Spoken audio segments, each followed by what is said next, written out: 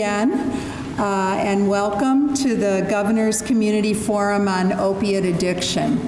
Uh, I'm Barbara Cimaglio. I'm the Deputy Commissioner for Alcohol and Drug Abuse Programs at the Department of Health, and I'll be your host for today and trying to keep you on track and make sure we get everybody to the right place at the right time. Um, I just want to give you a little bit of opening uh, before we get right to the governor and uh, remind you that the purpose of today's forum is to share community solutions. We've been talking a lot about the problem, and we're going to hear a little more about that this morning. But the bulk of the day is really to hear about what you are doing in community to address the issues of opiate uh, dependence, opiate trafficking, and all the things that go with that in your local community. Uh, we're going to be providing education on the issues and information about what we know works. And we're going to be promoting community team action planning. So you'll actually come away from today with some next steps that will help you go home and continue your good work. We also want to connect communities to resources that are available to you on a statewide, regional, and local basis.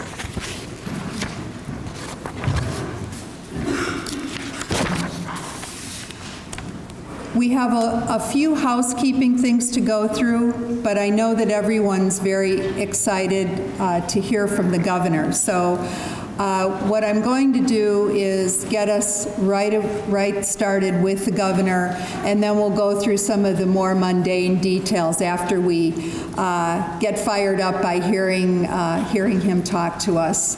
Uh, we are very fortunate here uh, in Vermont to have a governor who is not afraid to talk about some of the more challenging things that are going on in our state.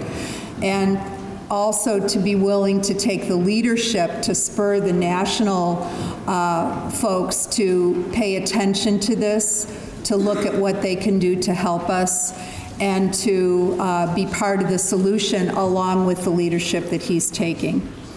So um, without further ado, I would like to welcome and uh, introduce to you this morning our governor, Peter Shumlin.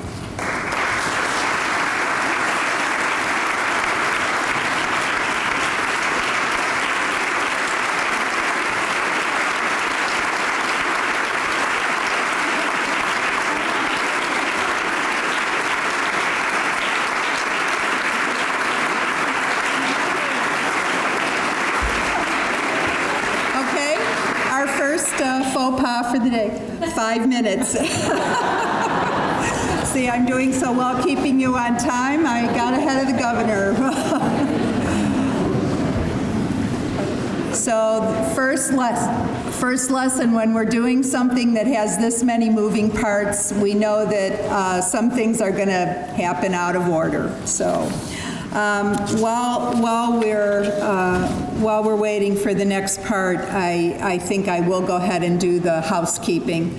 Uh, first of all, um, and most importantly, this day is about many people working together.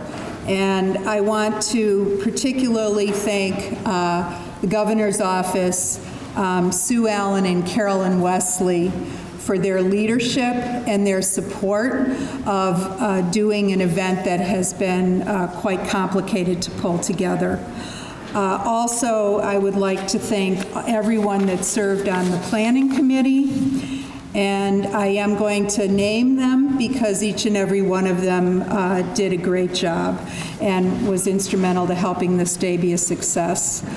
Um, my, first of all, my staff uh, who helped with this, Marcia LaPlante and Patty Baruti in particular, who were part of the planning committee. Couldn't have done this without them. Uh, Bess O'Brien, for her vision, passion, and ability to engage the broad community and her commitment to people in recovery. To Bob Bick, Joellen Tarallo-Falk from the Center for Health and Learning, her and her staff have done all the logistics out there that you see, um, and we could not have done this without her and her team. Um, Martha Maxim and the United Way uh, for their great support, both resource and personal. We could not have done this without the United Way, and we've learned so much from them about how to engage community. Um, That is the core of our planning committee, so will you please help me give them a round of thanks?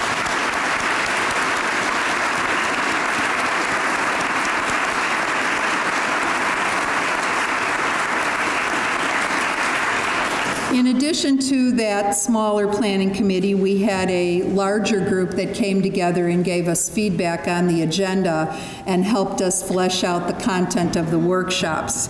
So I'd also like to thank uh, those people.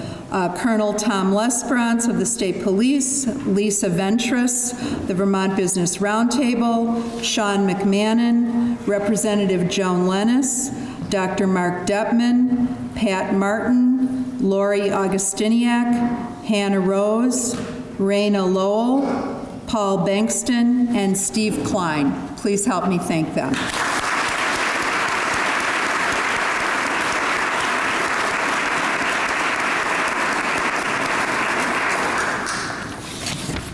I'd also like to introduce a special guest that we have with us today. Uh, This is a person that I work a lot with in Washington, and he was so excited to hear about what was going on in Vermont.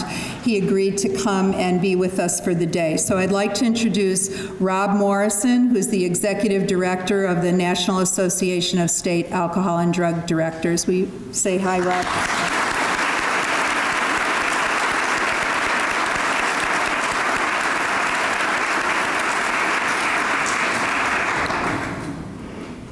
So now um, I'll just walk through our uh, plan for the day so everybody can understand uh, what the order of, of the um, festivities are.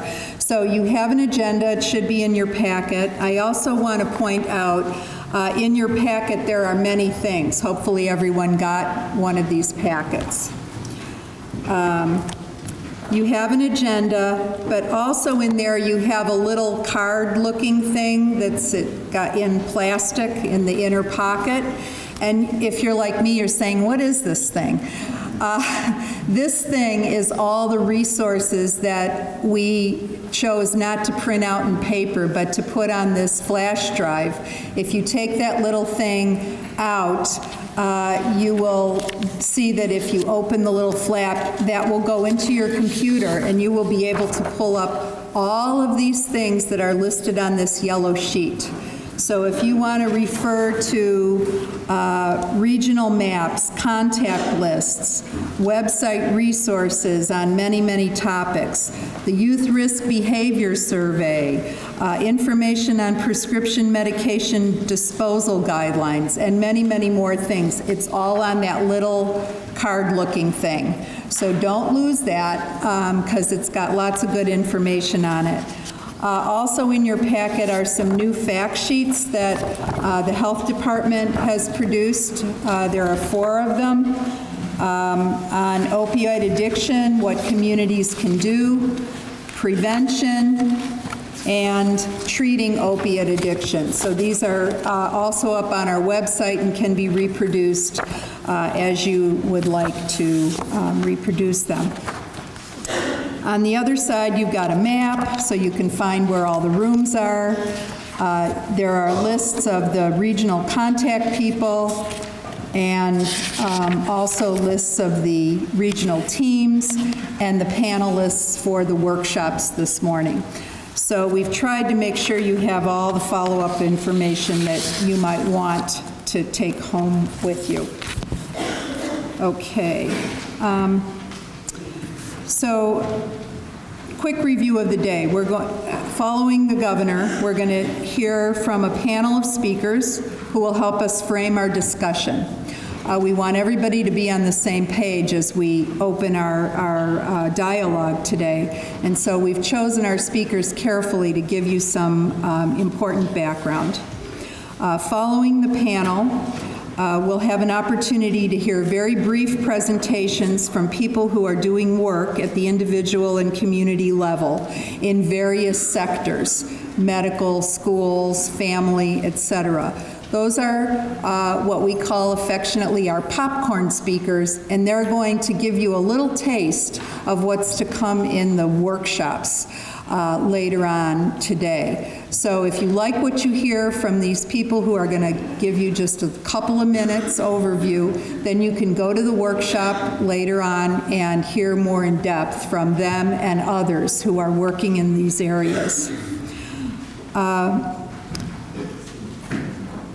then we will have um, lunch, and the morning presenters will be joining other panelists in facilitated breakout sessions to further discuss their topics. So that's what I said. Uh, all your room assignments for the breakout and community planning sessions are indicated on your agenda, and all the rooms are labeled. And there are people out in the hallway that have a sign that uh, name tag that says "Ask Me." So if you see the people that say, ask me, uh, they can point you in the right direction if you're not sure where you're going. Um, we'll be eating lunch in regional community groups from 12 to 1 in the cafeteria. Uh, in your packets and at the registration table is a list of the District Vermont Department of Health uh, office regions.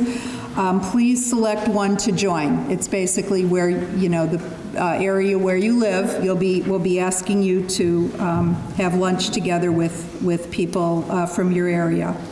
Also during lunch, you might want to talk amongst your group so that you split up where you're going to go in the workshops so that you're not all going to the same one and then you can um, bring your information back together. You will meet again by community groups at 2.30 and that will be local planning. You'll have a facilitator, and we'll be asking you to um, answer some questions and put together some next steps that make sense for your community. Uh, because at the end of the day, this really is about taking action, and it's going to be important for you to come away with a couple of follow-up steps. We all, uh, each of your communities also has a follow-up meeting planned, and we encourage you, and we'll be inviting others to join you for that follow-up meeting. Um, so this event really is just kicking off what you're going to go home and, and work on um, when you get uh, back to where you live.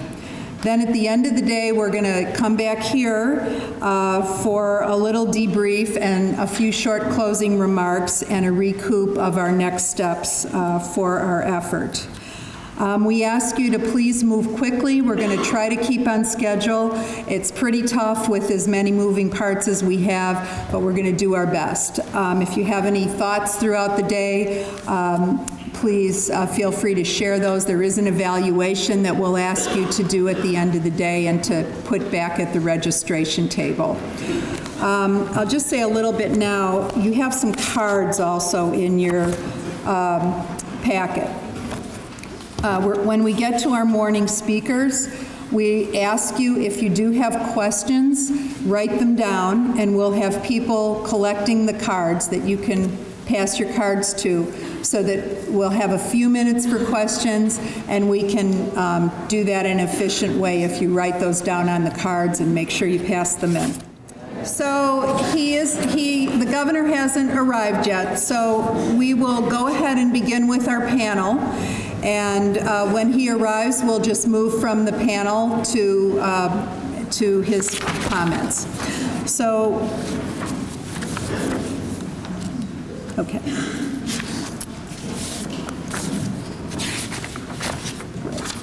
Thank you for being patient. Um, as you can tell, I'm not used to being a moderator, so I've got a lot of pieces of paper up here.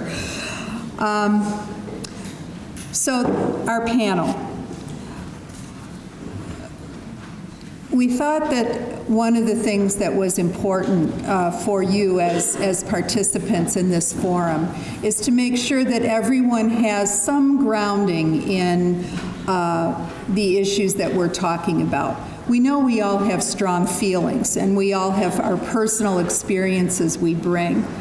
But we want to give you a chance to learn a little bit about the problem as we look at the data about what our state is experiencing. a little bit about prevention and why prevention is so critically important as the foundation of keeping our communities healthy and well.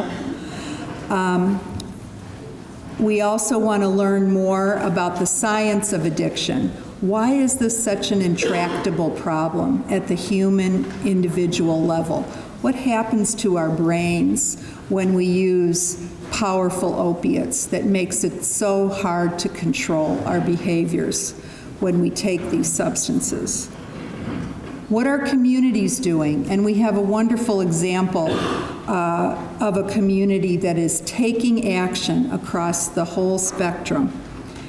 And then we want to end up by hearing from uh, a brave lady who has uh, agreed to share her story with us of recovery so that we can see what is possible. We do everything we do because recovery is possible and community wellness is, is so critically important. So with that, I'm going to um, introduce our first speaker. And he's a very special speaker for me to introduce because he's my boss, uh, Commissioner Harry Chen of the Health Department, who has been exceptional in his leadership. As a former emergency room physician at Rutland Hospital, uh, he knows this problem firsthand. Not only does he know it, he believes that it's important to take leadership and to uh, ensure that we are doing uh, community action across the board. So without uh, further ado, I'll introduce Dr. Harry Chen.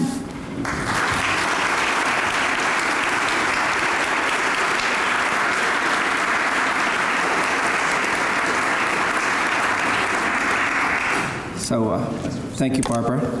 And um, I have to at least give you one story, which is the last time I remember being interrupted by the governor was uh, at a press conference at the airport at Montpelier, and he was landing in a helicopter. So, this won't be the this won't be the last time I'll be interrupted by him. So, so I do want to thank all of you for being here um, and your commitment to work together with each other and with us at the state level to meet the challenge of opiate addiction.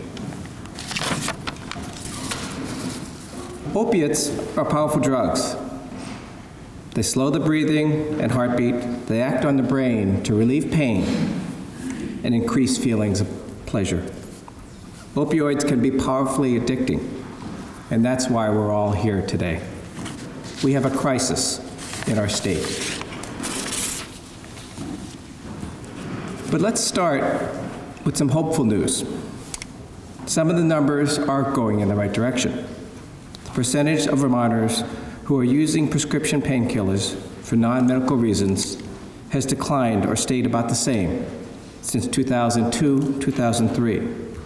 For the 12 to 17 year olds, those in middle school and high school, the blue line in the middle, there's been a significant change since 2002 and 2003, from 9% to 6%.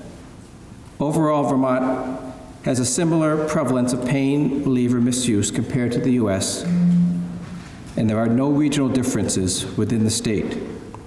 So we're essentially the same as the rest of the country, and there's no difference in Vermont where you live. It's the young adults, the 18 to 25 year olds, the top green line, that we are most concerned about. Heroin use among Vermonters has been low compared to the U.S. as a whole and hasn't changed much over the years. It's 2% of high schoolers, according to the Youth Risk Behavior Survey, or less than 1% of those Vermonters 12 and older. But just the same, even though it's significantly lower than the rest of the U.S., there are troubling trends that really speak to our crisis. Research is showing, and common sense tells us, that the use of opioid painkillers is related to the use of the opiate heroin. Heroin is now cheaper and easier to get than prescription painkillers.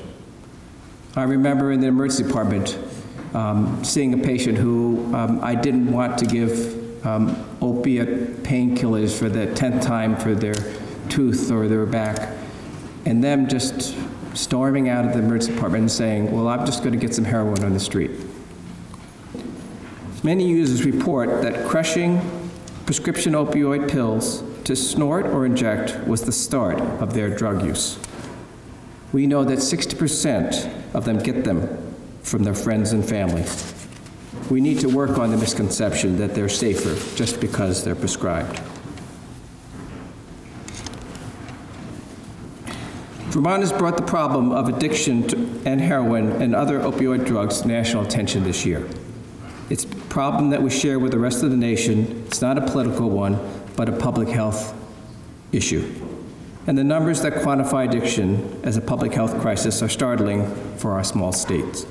More than 50 Vermonters die from opioid drug poisoning every year, and the rate is increased from 2012 to 2013. Between 2012 and 2013, deaths from heroin doubled. And so, why do we call this a crisis, given some of the numbers that I've shown you? It's clear. We call it a crisis, a public health crisis. Addiction is a life threatening and lifelong chronic disease, and death from overdose is always a threat.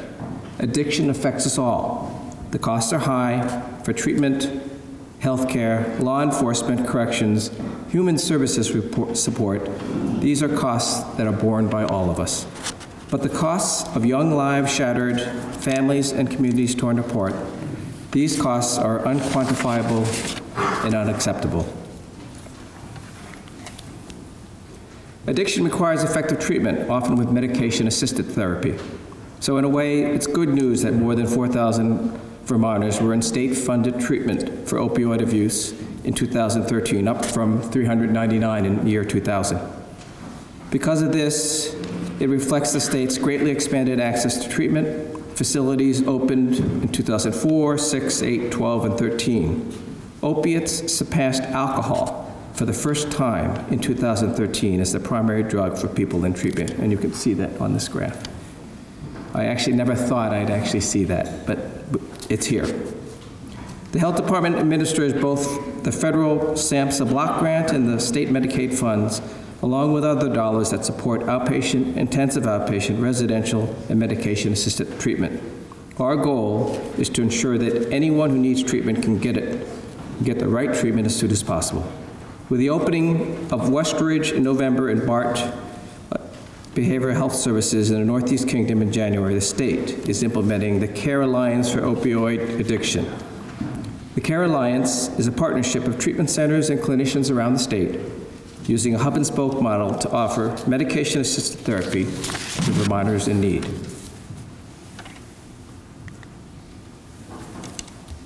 Simply put, the treatment centers or hubs will serve patients with complex needs. Hubs offer comprehensive assessment and specialty treatment with methadone or buprenorphine, provided, providing treatment much closer to home for many. Connected with the hubs are the spokes, the Blueprint for Health, primary care, and other physician practices that treat patients using buprenorphine. Each patient's care is coordinated and supported by nurses and counselors who work to connect with community support services. This is the same model we use for Vermont's chronic diseases like diabetes and heart disease.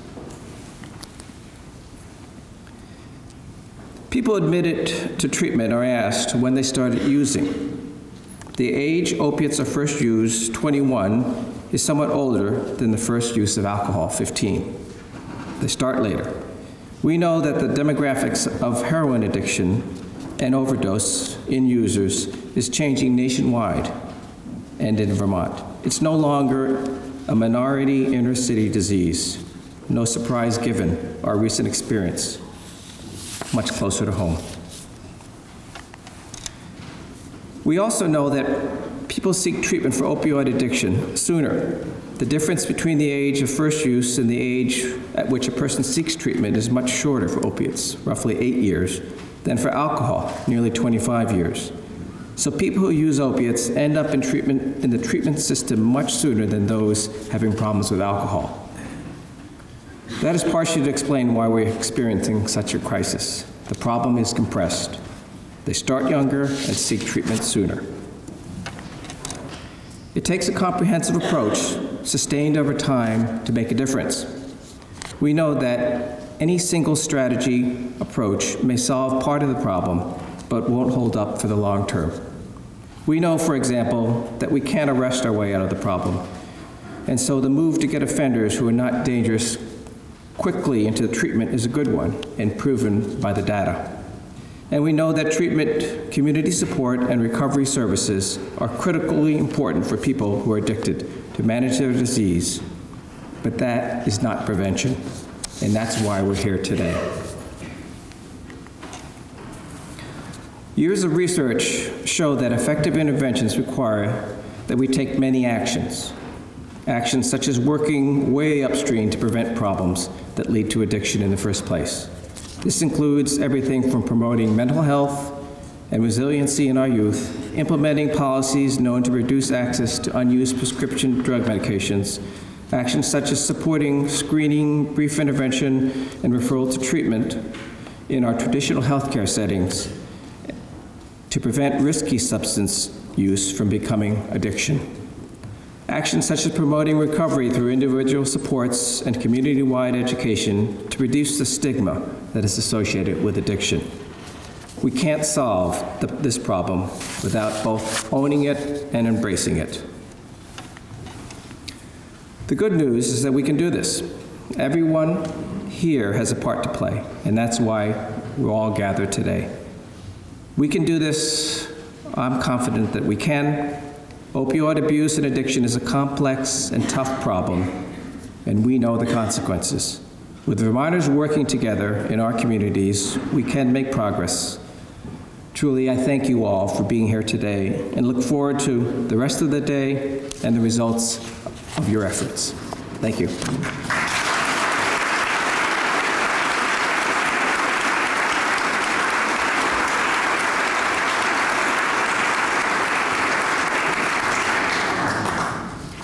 Thank you, Dr. Chen. Okay, we're going to go on to, right? No, okay. Didn't know what you were saying there for a minute.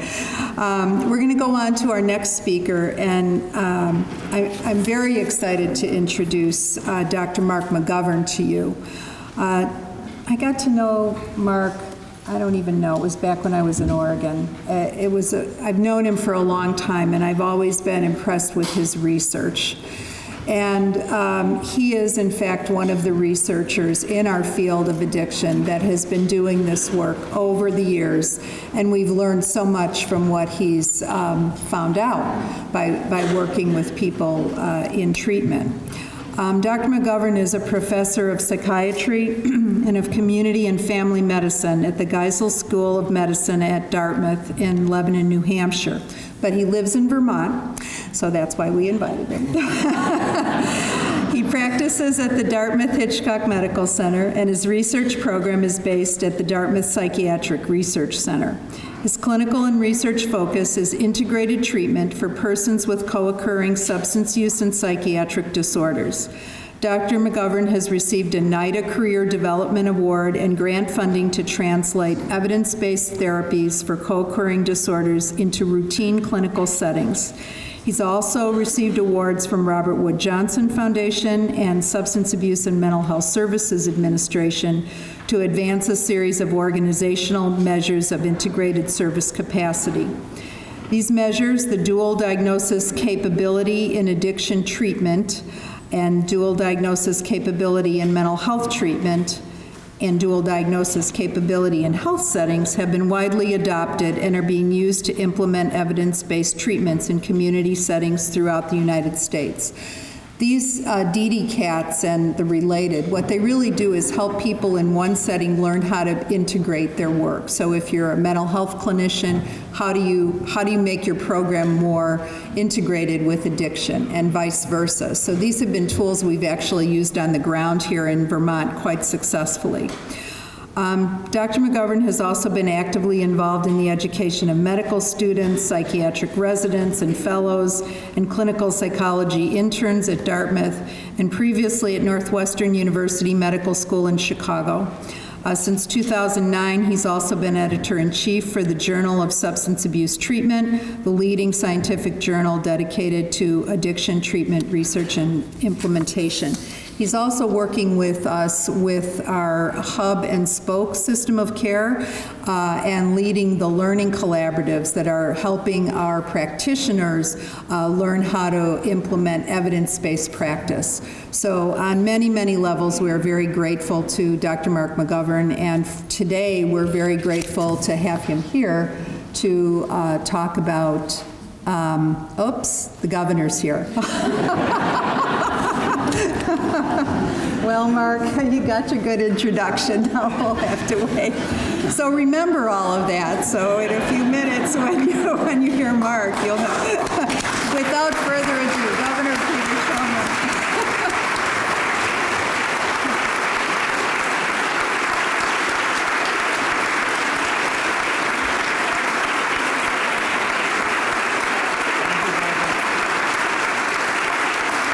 Thank you, Barbara. Thank you so much.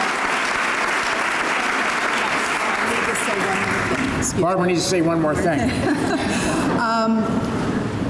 Carolyn and Alistair are going to be on either side to collect cards if, there he is, if you have uh, questions. So Carolyn, Alistair, uh, pass them your cards when you have a question. Thank you. Take it away. Hey, thank you so much, Barbara. Let's put, let's give a hand to all the folks that helped us put this together, United Way, and uh, of course my team, all of you. Thank you. And I'm sorry I'm late.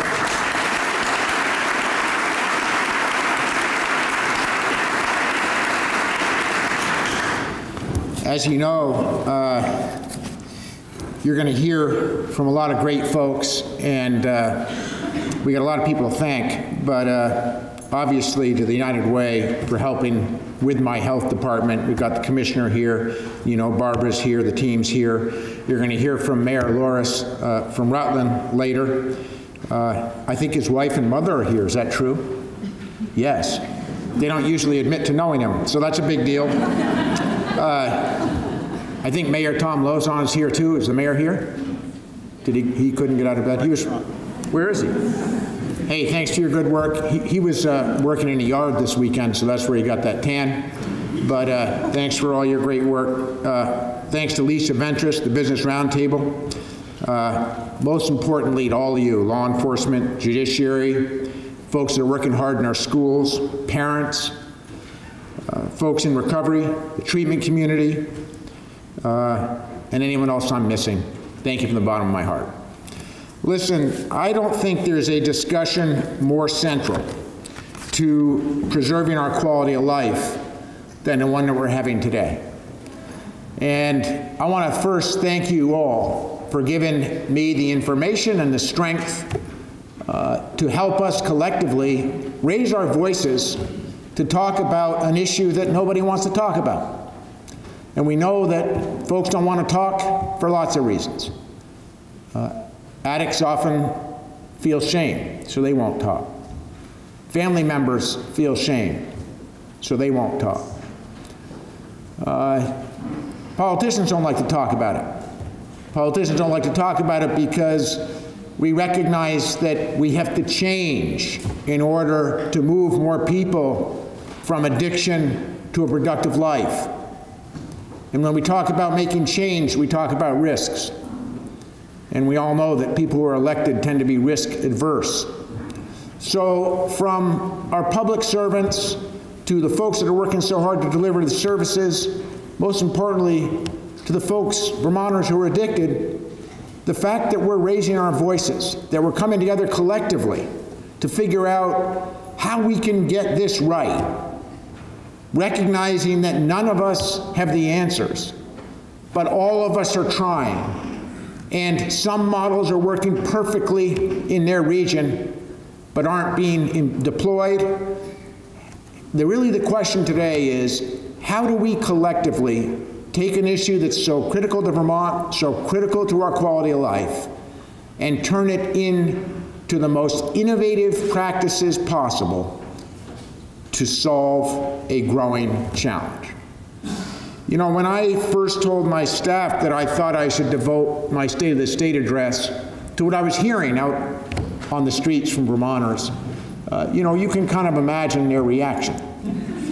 And I just got to say that since we had that conversation, I think we've accomplished one thing for sure, and that is we have made it possible to talk about addiction and recovery, to talk about what we're doing well and we're not doing well, and most importantly, to have a collective conversation about how Vermont leads in getting this right. Let's talk about the roads that we've traveled a little bit. I started talking about this because I had many, many Vermonters coming up to me every day as I circle this state, and I'm late today because I'm on the circle. And that's what I do seven days a week. And I had so many Vermonters from all walks of life, all walks of life, saying to me, you know, my son, and I've lost my son, we've lost our family to addiction. Lost my daughter, lost my niece, lost my mom or my dad. Or folks would say, you know, my store's getting ripped off, or my car's been getting ripped off, or my house has been getting ripped off. Things have been happening that didn't used to happen like this in Vermont. And they said, how come nobody's doing anything? When we look at the statistics, you know, statistics can put you to sleep, but they really matter in this case.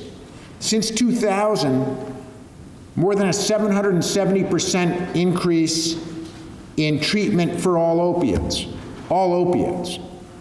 People often ask me, and I bet they ask the mayors and they ask Chief Baker and so many people here, how did we get into this mess? And I think we're all too hesitant to say, you know, it really isn't that puzzling. When the FDA approved Oxycontin, and we started passing it out with what only could be described as irrational exuberance, a lot of people got addicted. You know that we passed out enough Oxycontin in the second year that was on the market to keep everybody in America high for a month. That's right. When my own dad passed away six weeks ago, my mom and my sister started going through the medicines that they'd given him as somebody who's just growing old in Vermont, you know, had a little, had various ailments that people who are 89, 90 year olds get. They took a bag full of this stuff, you know, down to the Brattleboro Police Department, because that's where you take it. Uh, we're still doing it. Not much has changed. You all know the FDA's own advisory committee voted, I believe, eight to two, do not approve Zohydro because Zohydro is Oxycontin on steroids. And it's not even tamper resistant. You know, you can crush it, you can shoot it, you can snort it.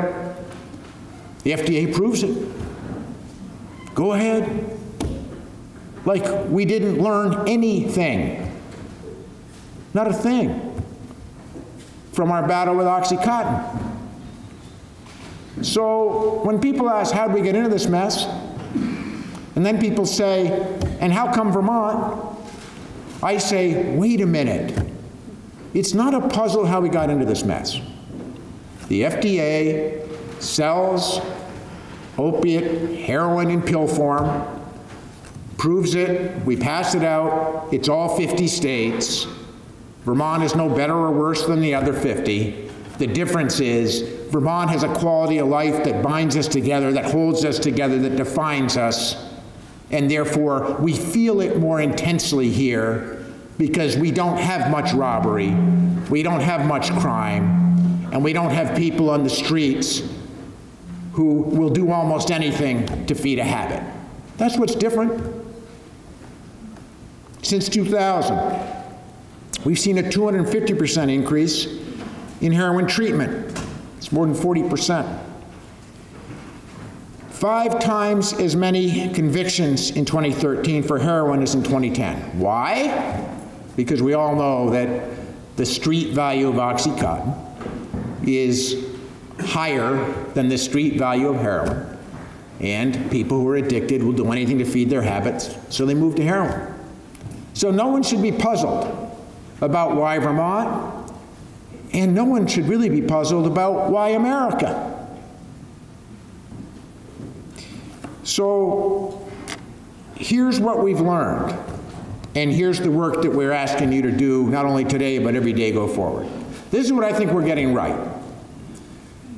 When you see Bess O'Brien's film, one of the things that struck me was the story of the young farmer up in Addison County who, you know, 10th grade, gets offered some Oxycontin during exam time, takes some, uh, finds out that he's never felt better, becomes an addict hard and fast, spends five years struggling with addiction, does all the things that addicts do, rips off his family, loses his friends, the crowd that he was hanging with, does all the things that destroy a life.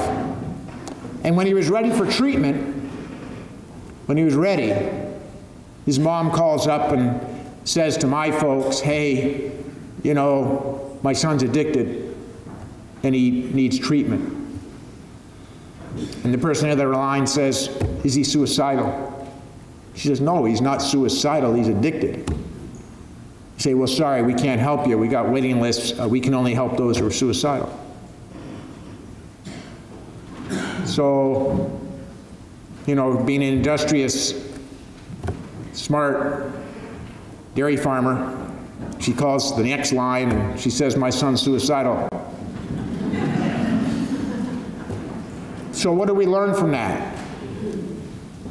Since we know that the hardest, most difficult thing for people who are suffering from this disease is to move them to treatment, that they'll do almost anything to deny their addiction. We ought to have a system when someone calls up and says, I need treatment, we say, How can we get you that treatment right now? So, we're investing a lot of money. We're doing some right things in the hub and spoke program that we're all putting together collectively.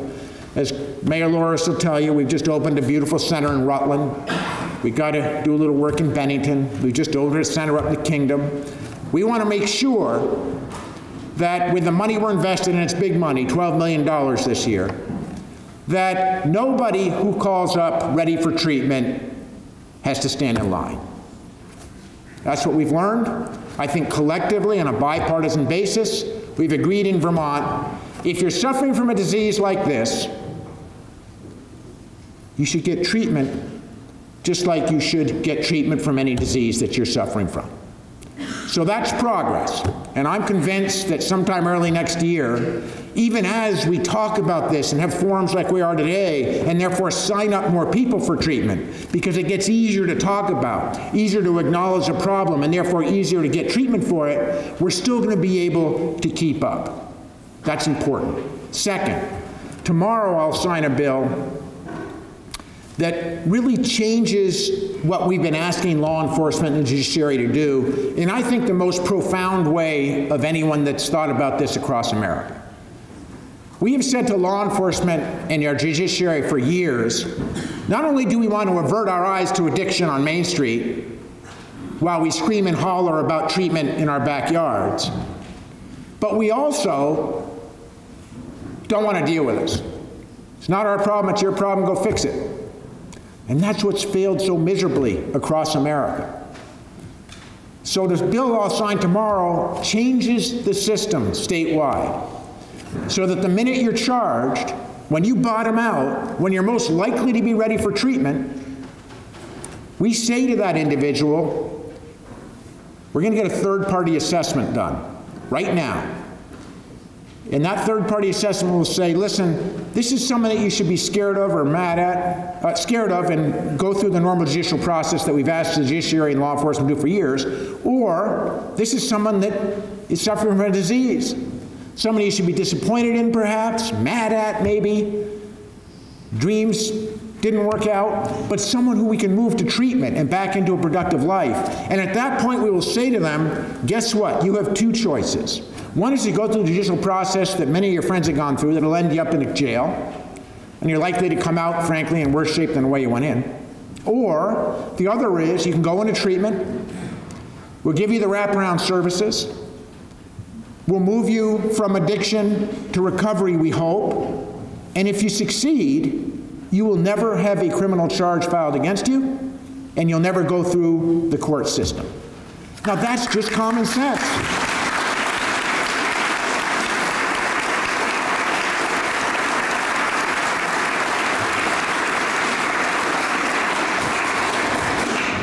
That's just common sense. Third, we now are the most successful state in having law enforcement and everybody else that we can give it to carry Narcan to save lives of people who are ODing. That too is just basic common sense. Do you know that we have saved dozens and dozens of lives since we've implemented that policy. We have. And we've got other governors in the Northeast who think that's a huge mistake. You know, all I can tell you is we're getting that right too, and that's because of the conversation that we've been having statewide. Finally, where we need to go. Listen, it's easy to get discouraged because I don't think anybody has figured out effectively how we do the prevention piece, how we avoid addiction in the first place. But what I do know is that in talking to people in different communities around Vermont, Rutland's a great example.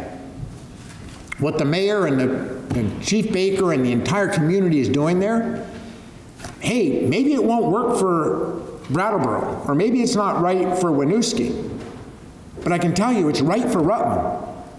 And if we can learn from each other what we don't know how to do so well, which is prevention and more proactive moving people into treatment, I'm convinced that we can develop a statewide model that will work not only well for Vermont, but for the rest of the country.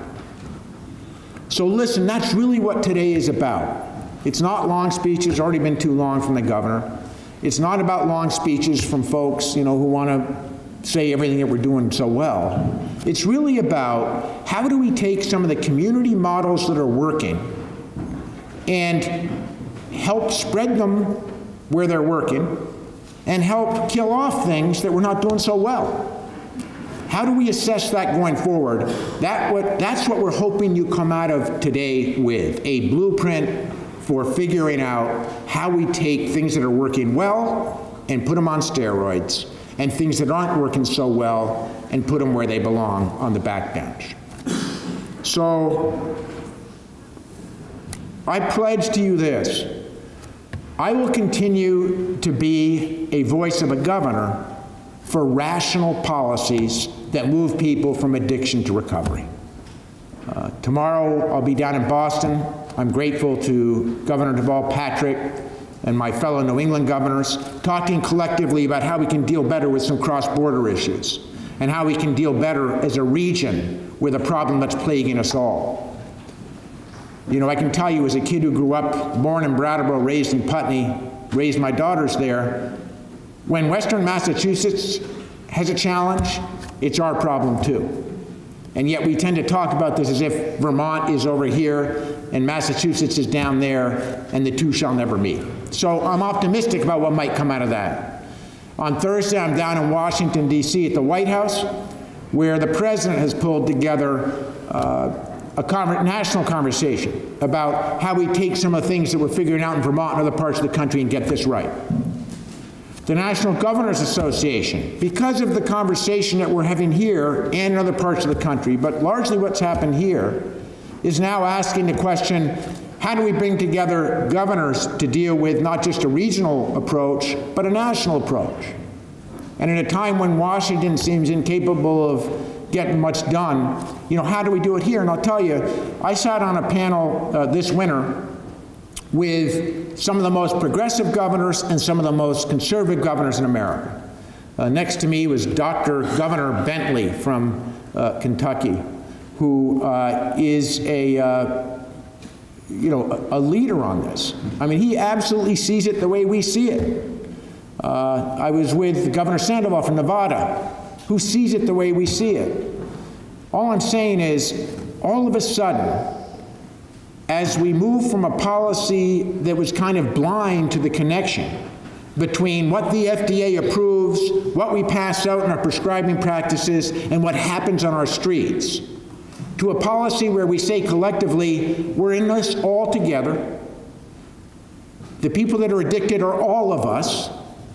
It isn't the, what I mean by that is it isn't the folks from one particular socioeconomic group. It isn't folks from one particular race. We have poor addicts and we have wealthy addicts.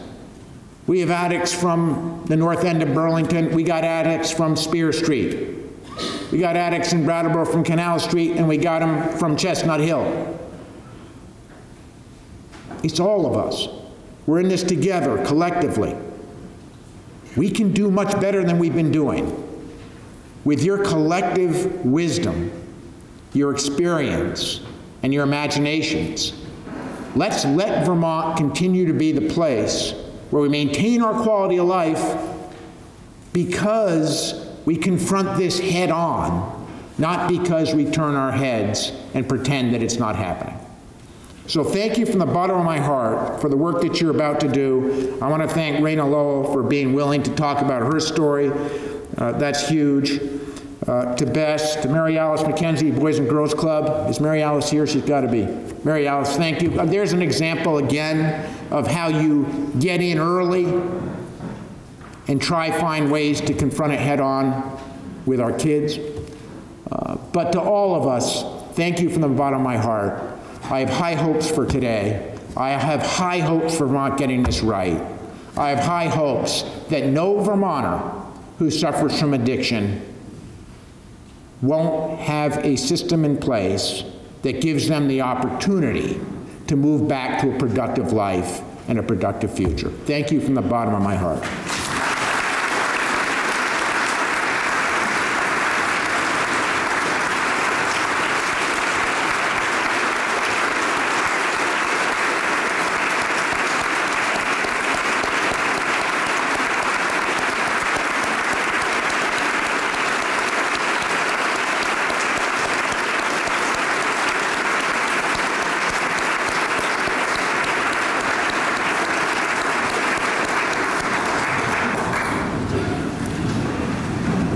Thank you, Governor.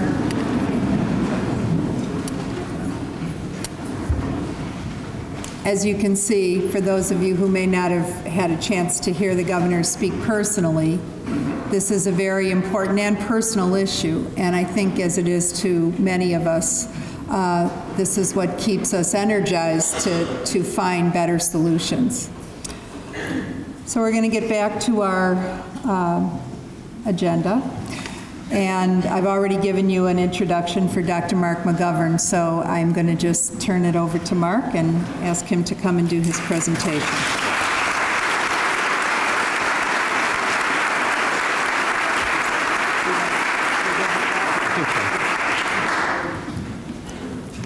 Morning, everyone. I was starting to think I was off the hook. Really, uh, I, I, actually feel inspired. I've been fighting the fight uh, professionally uh, against addiction since 1978 at my first job at a detox program in North Philadelphia. And uh, it feels to me, I say inspired because it feels to me like the, the, the Calvary, the reinforcements have arrived. So thank you all for being here. I really uh, also appreciate uh, Governor Shumlin's leadership. I've only ever seen Governor Shumlin on television, and uh, I really appreciate his, uh, his leadership in not hiding the problem, uh, courage to call attention to it, which is really the only way it can get better. I really also want to thank uh, Barbara Cimaglio for uh, inviting me to be here today. Thanks for having me. Really thanks again to all of you. It's, it's really nice to see this many people involved in this issue. I don't think as someone said earlier, Dr. Chen, we can uh, arrest our way out of the problem. We can't treat our way out of the problem. We can't educate our way out of the problem. We have to do a lot of different things for it to work. I was asked to talk about the science of addiction, um, which, uh, you know, I think uh, in, in, terms of a pie chart, maybe it's, it's Vermont, so I should, I should say a cheese chart. What, what we know about addiction is really a very, very small slice of that overall piece of cheese, maybe, maybe just a sliver.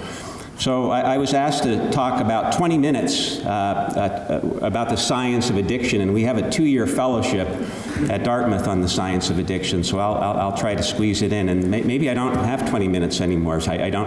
I have, I have 15 minutes now. Okay. So it's a primer, which is the thing you put on the wall first before you try the uh, second coat. It's another way of thinking about what I'll what I'll be doing here, really, just to start. But a simple definition of addiction is continued use despite consequences. It's the most elegant definition I've ever heard. Addiction is also misunderstood, and it was really refreshing to hear the governor speak to this issue. It's really uh, involving fundamental brain changes at kind of the electric level, the chemical level, and the structural level. Uh, the changes in function really affect things like judgment, like memory, like impulse control, and will. Kind of things we do every day to kind of, what, what mobilized us to get here this morning involved all of those uh, different executive brain functions. We have pretty good data from functional MRIs, positron emission tomographies, uh, other types of new brain scans, but I think the best data actually comes from animals. We're, we're Vermonters, so we, we kind of like our animals, don't we? So we're actually able to in introduce addictive substances to animals and develop addiction in animals. Mostly, most of the studies are done with rodents and, uh, uh, and, and uh, monkey type, type animals. And essentially what happens is that the animals will work for the substance that they've become addicted to, They'll prefer the substance they've become addicted to to food, to water, to sex, to sleep. Do the animals have character defects? Are they bad animals or are they addicted animals? So the idea here, and I think it was elegantly said by the governor, that it affects anyone who's addicted. It doesn't affect poor people, rich people, black people, white people, people from Vermont, people from New Hampshire, people from Massachusetts, really differentially. Our current diagnostic procedures are very, very primitive. The science is, uh, I think this is one of these things in 20 years we'll be scratching our heads and saying, can you believe what we did to assess addiction in uh, 2014? We actually asked people about 10 questions to determine if they were addicted or not versus slide them into a, a, a technolo technological device and measure something that's happened to their brain. I predict, I'll go out on a limb here, I, I predict that that's what we'll be doing in about 10 years. Essentially, what we notice is it's a range and a loss of control, biobehavioral control, control of judgment, memory, impulse control, and will. I don't know that you can see this, but this basically is a state of the science on trying to link the substances that we commonly see in addiction treatment with their corresponding uh, brain uh, chemistry. So we're talking about opiates today, so opioids affect uh, strangely termed opioid receptors. Dr. Chen mentioned the statistic I hadn't heard before this morning. It's really kind of an interesting statistic. It's not a good statistic, that it, from age of onset, of using the substance to getting into treatment, it takes eight years. Eight years. Things aren't improving, right, in those eight years. Things are probably getting worse in those eight years. So the other idea with opiates and benzodiazepines is that the age of onset to the, to early symptoms of addiction can take days. A little less so with these other substances, but there, there's a very rapid course from use to disorder, use to symptoms to disorder. What about, what about treatment? Treatment doesn't work, right? We hear all the time about people being readmitted, about people relapsing. Well, it turns out a very uh, excellent paper, a landmark paper by Tom McLellan, colleague at the University of Pennsylvania, and colleagues, published in the Journal of American Medi Medical Association in 2000, compared the treatment course of addiction with other kind of more acceptable chronic diseases. And there's an inheritability column, an outcome column, and a relapse column. And you can see the bands of percentages in terms of what the cause is, what the outcomes are, and what the relapse rates are. They compare favorably with high blood pressure, that's what HBP is, diabetes, asthma, and there's addiction at the bottom. The outcomes do, though, vary by things like the stage of the disease from early to advanced. So if it takes eight years for you to get into treatment, you're probably at the advanced stage.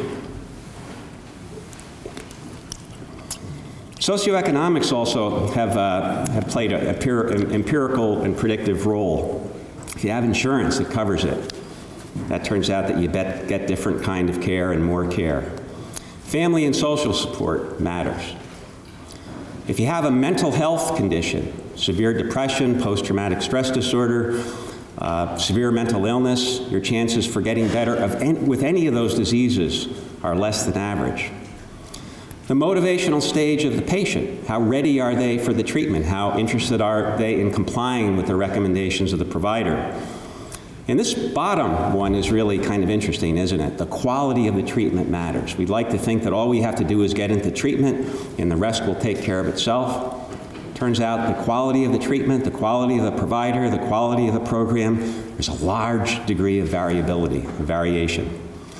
Also, we don't just stick people into a, into a dryer and turn the, uh, turn the uh, dial on to 45 or 50 minutes or uh, you know, have that magical thing that detects moisture and stops the dryer at that point, and they're done. Treatment's over. It's a chronic disease. Treatment continues for the foreseeable future. Perhaps a person is at risk lifelong. So this is a fairly educated audience. The treatment of opioid use disorders is a little different. We actually have two FDA-approved medications, methadone and buprenorphine. You're familiar with, with probably both of them. The medications, the, the medicines target those opioid receptors to restore normal functioning so the person does not have to continue to take oxycodone, hydrocodone, heroin, etc. Methadone is an agonist, buprenorphine is a partial agonist.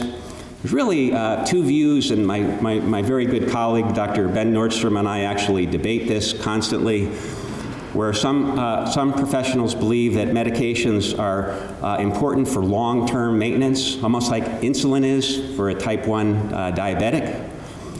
And other uh, people believe that the medications are really uh, for shorter-term stabilization. What do I mean by shorter-term stabilization? Six months to a year.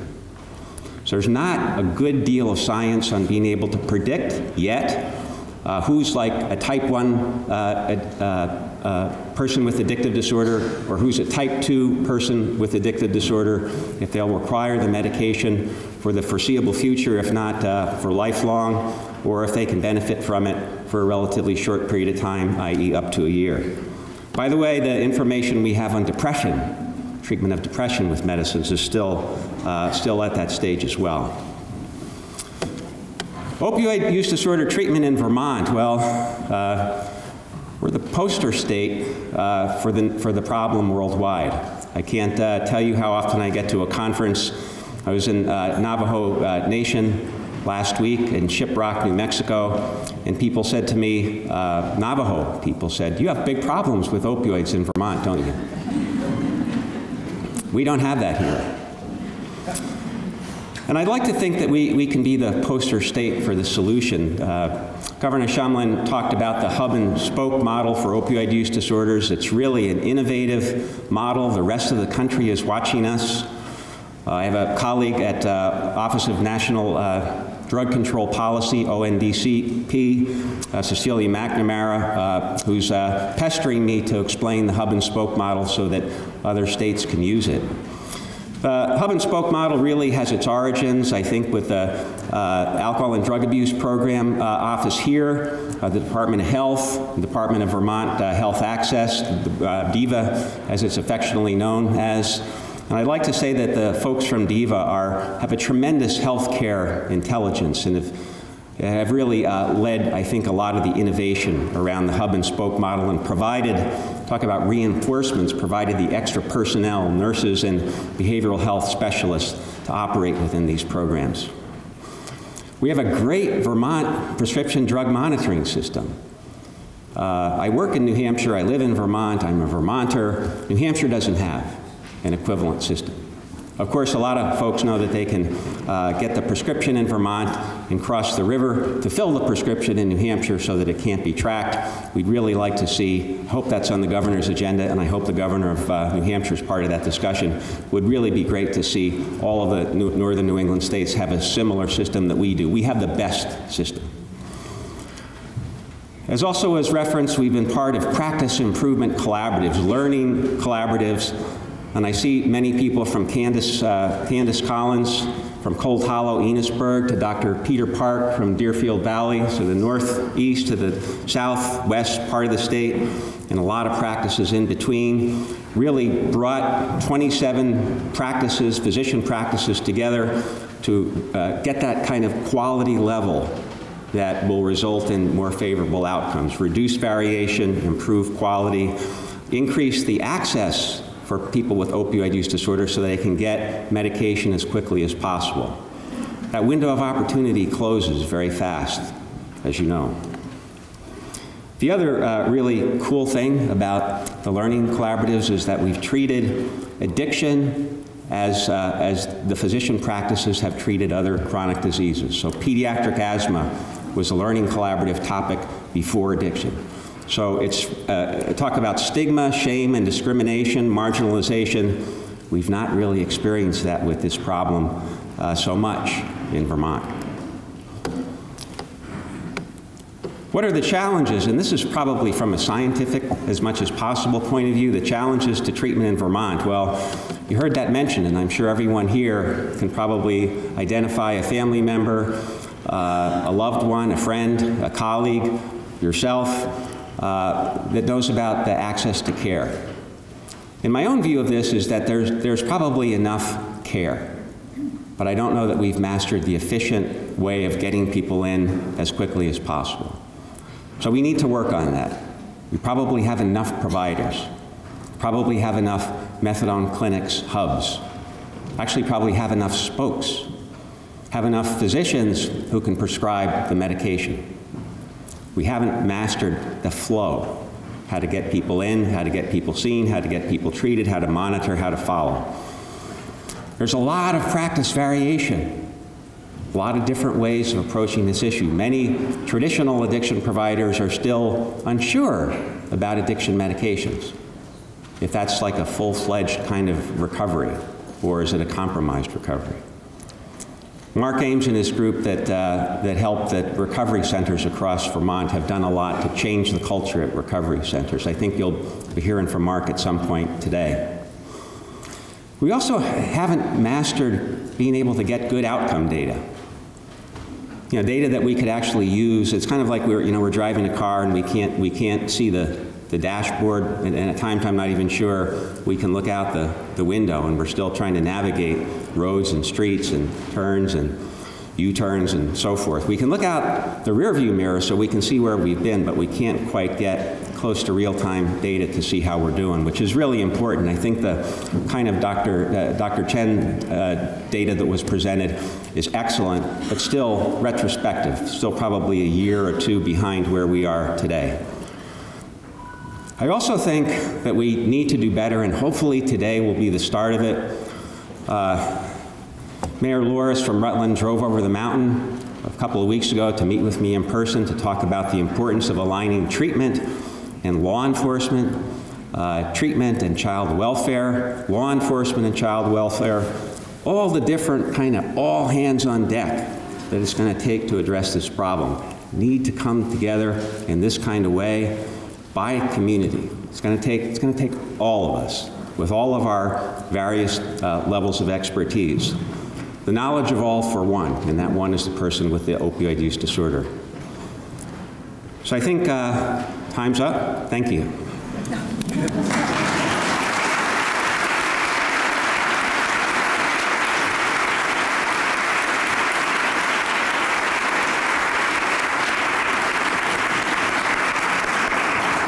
Great. Remember, if you have any cards with questions, pass them, pass them up to the folks who are collecting the cards. Great, thank you very much, Mark. Um, I think it's critically important that those of us who are not uh, scientists or medical experts remember that um, the intractability of this as a brain disorder makes it very difficult for someone to uh, walk away, uh, as is often expected. Why don't people just walk away from this? Um, hopefully, you got a little better insight into the complexity of, of the brain function that's, that's affected. But as Dr. McGovern said, uh, we are not going to solve this problem alone, and we've heard that from everyone this morning. Uh, it's going to take everybody working together.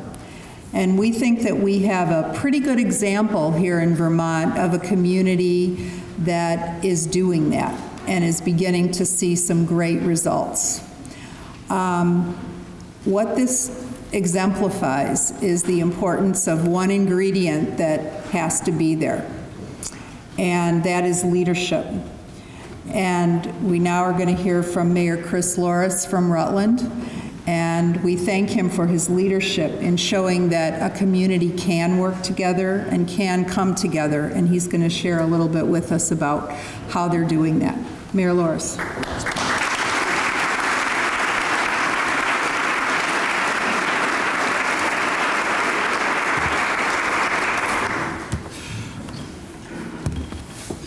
Um, Well, I appreciate those remarks. Uh, However, I think they're a little bit misplaced.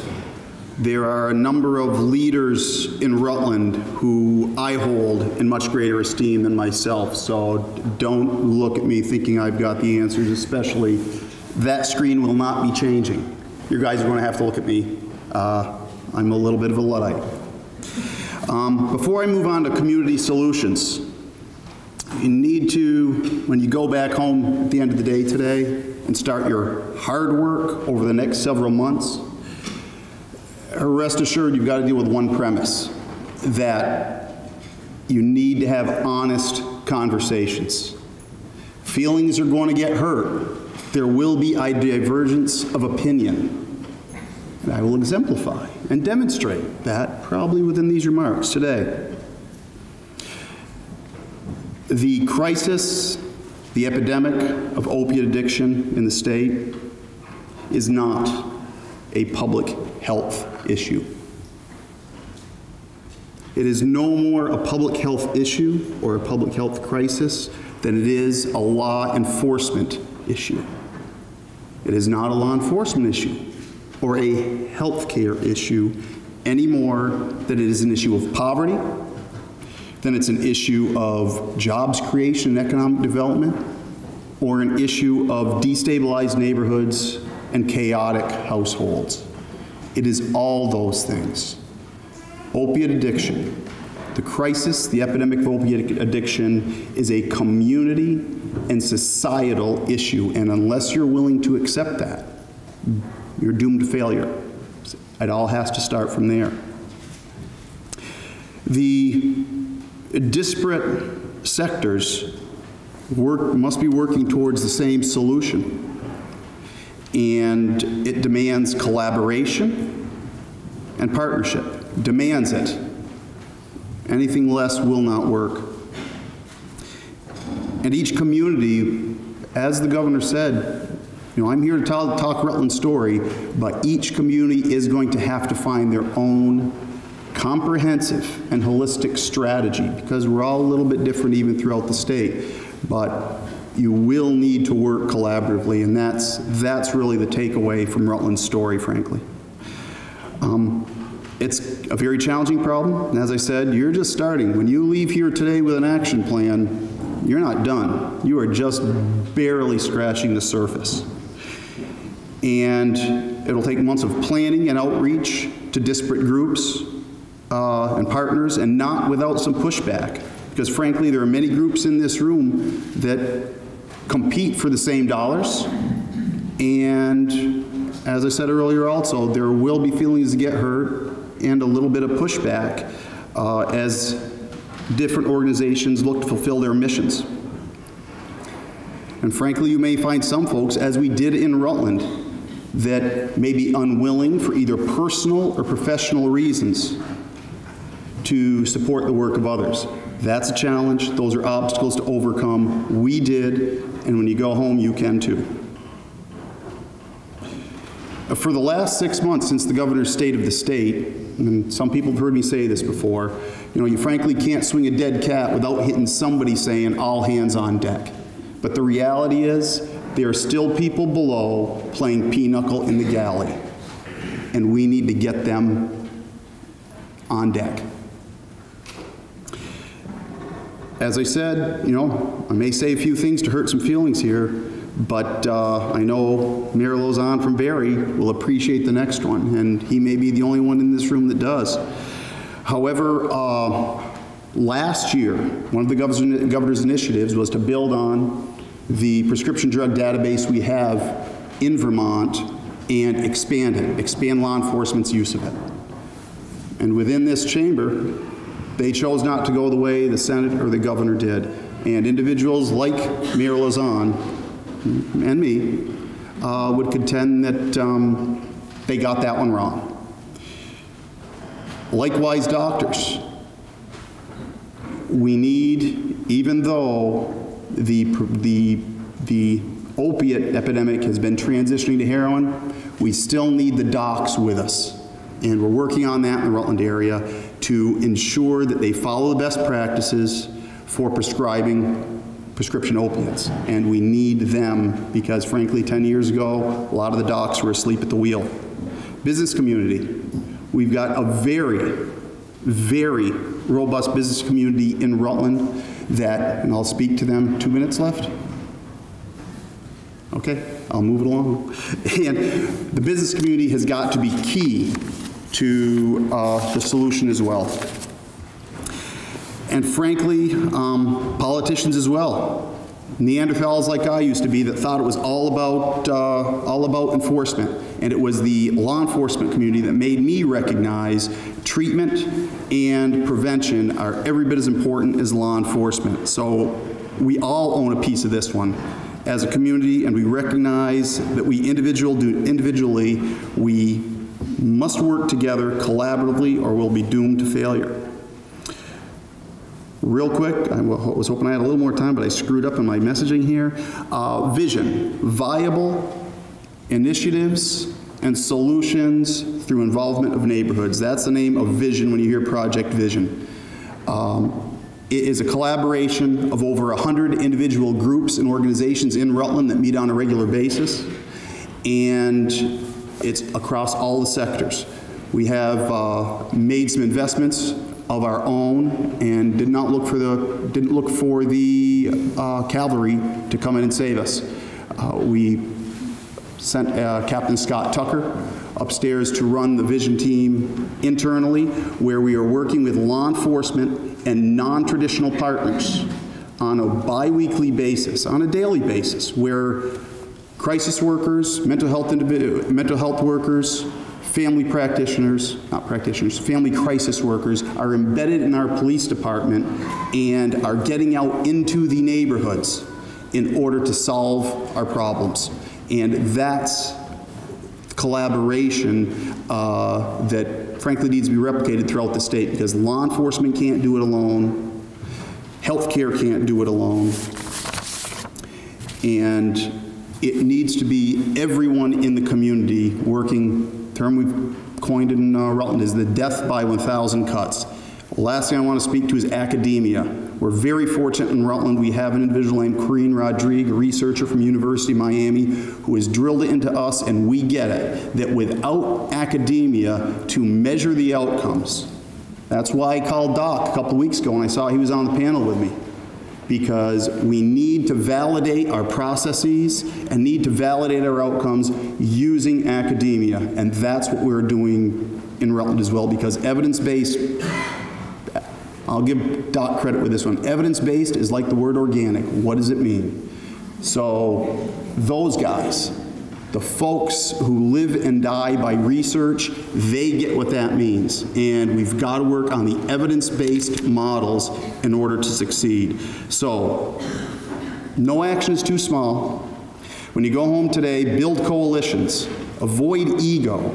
Keep your eye on the ball. Play the long game. Community and collaboration are key, and no single sector, frankly, can go it alone.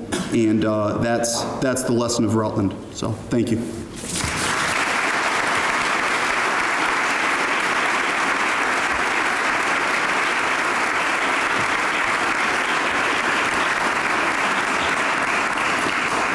Thank you, Mayor Louras.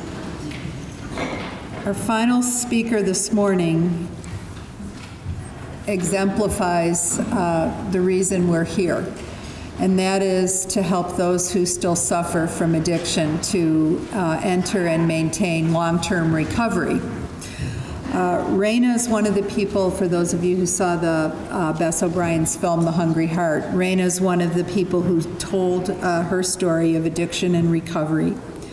She has been clean from opiates for uh, three years. She's a mother of two, and most importantly now, and how she's helping us, she's an activist for change. So uh, let's welcome Raina.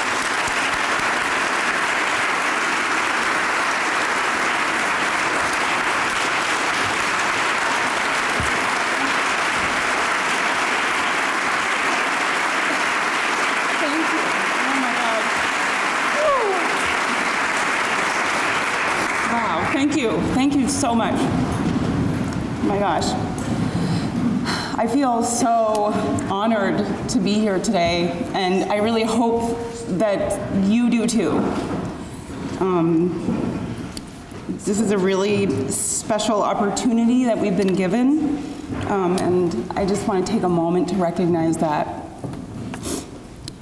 Governor Shumlin's State of the State address this past January brought me to my knees. I had never been so proud to be a Vermonter as I did that day. Sorry, I'm a little emotional, so I hope you'll bear with me. I felt proud to live in a state where our governor cares more about the health and well being of our families than he does about being a target for judgment and criticism. And so we've become trailblazers. We will lead the way for the rest of this country as we fight back against this disease that is destroying families and taking lives in epidemic proportions. And so, on behalf of myself, my mom and my dad, my two sisters, my crazy and wonderful aunt, my beautiful uh, new baby niece, my son Miles, and my daughter Zeta, I'd like to thank the governor for giving us that gift. Preparing for this speech was difficult. I couldn't decide which topic was the most important to focus on. Did I want to talk about recovery and how I got sober and what worked for me and what didn't work? Did I want to focus on the power of perseverance? Should I address what is and is not working with how we approach recovery in America today? Do I talk about the limited resources available to us and what that means and what that looks like and what I believe we can do to change that? Addiction is so complex. There are so many layers to it. I imagine there are at least a few of you out there that are hoping I might be able to stand here and tell you how to get someone sober, or at least how to get them willing to try. But I have no idea how to do that. I wish that I had a secret formula, but I don't.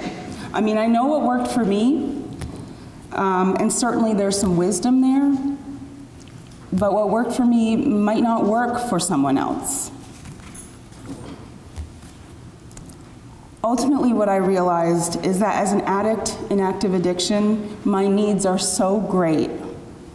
They are so complex, and I require so much from others. Many of my needs are not easy to meet either. It's not easy to love an addict. It's not always easy to offer kindness and compassion to someone who acts like they don't care about you or appreciate you, someone who acts like they hate you. It can seem pointless.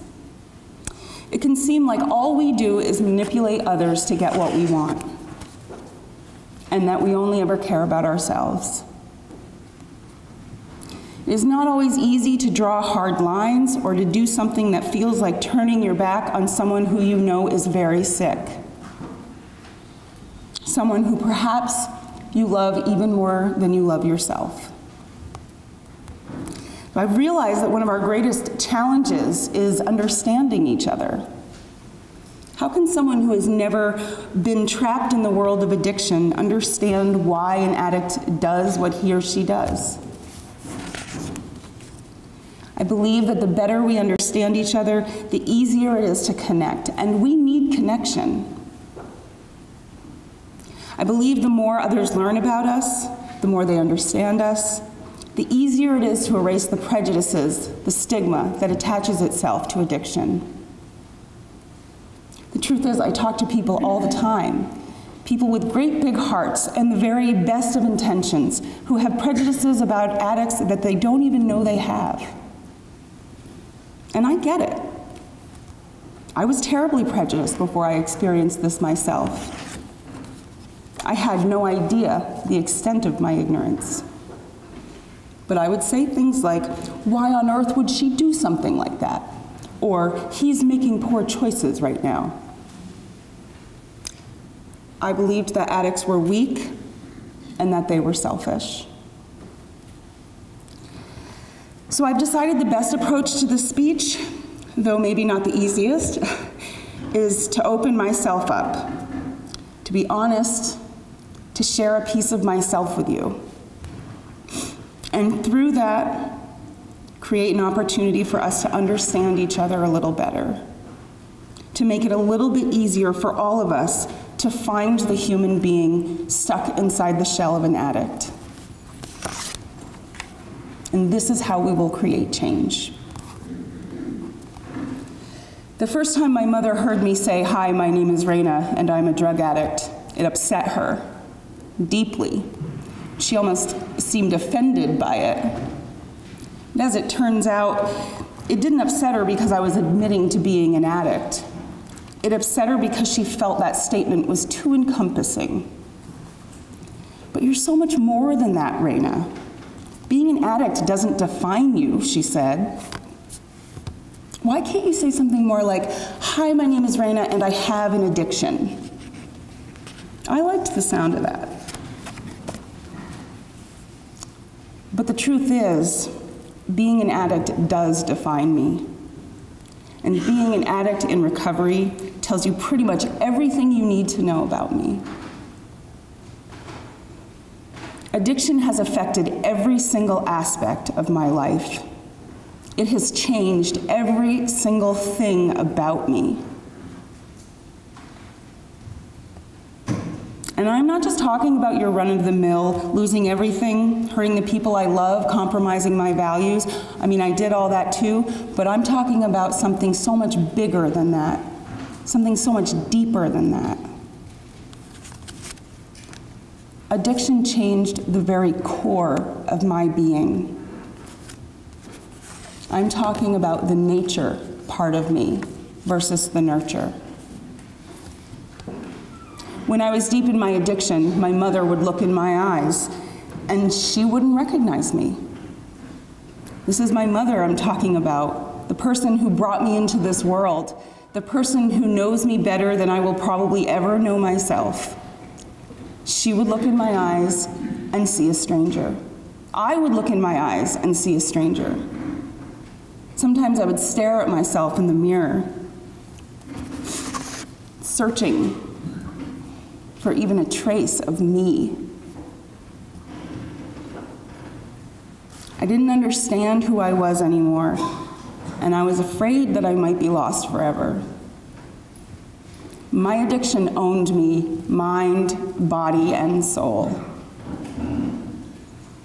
My addiction became my survival. We all know that humans will go to extraordinary lengths and do extraordinary things to survive.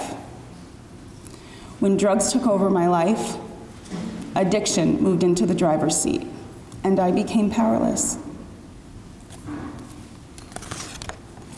I felt like I was stuck in a never ending cycle of a catch 22. I would wake in the morning filled with fear and anxiety. Everything was fueled by my overwhelming need for a fix. I was afraid. I was angry. I was raw. I was determined. I was confused and heartbroken, and everything about me was saturated in shame. But I wouldn't acknowledge, I couldn't acknowledge the true state of my life and where I was headed. Everyone else around me could see it, but I couldn't. If I did, I would be forced to acknowledge how bad things had, got, had gotten. And I would be forced to acknowledge that I needed help. And I would be forced to acknowledge that the only thing in the entire world that made me feel good was killing me. How can something that feels so right be so wrong?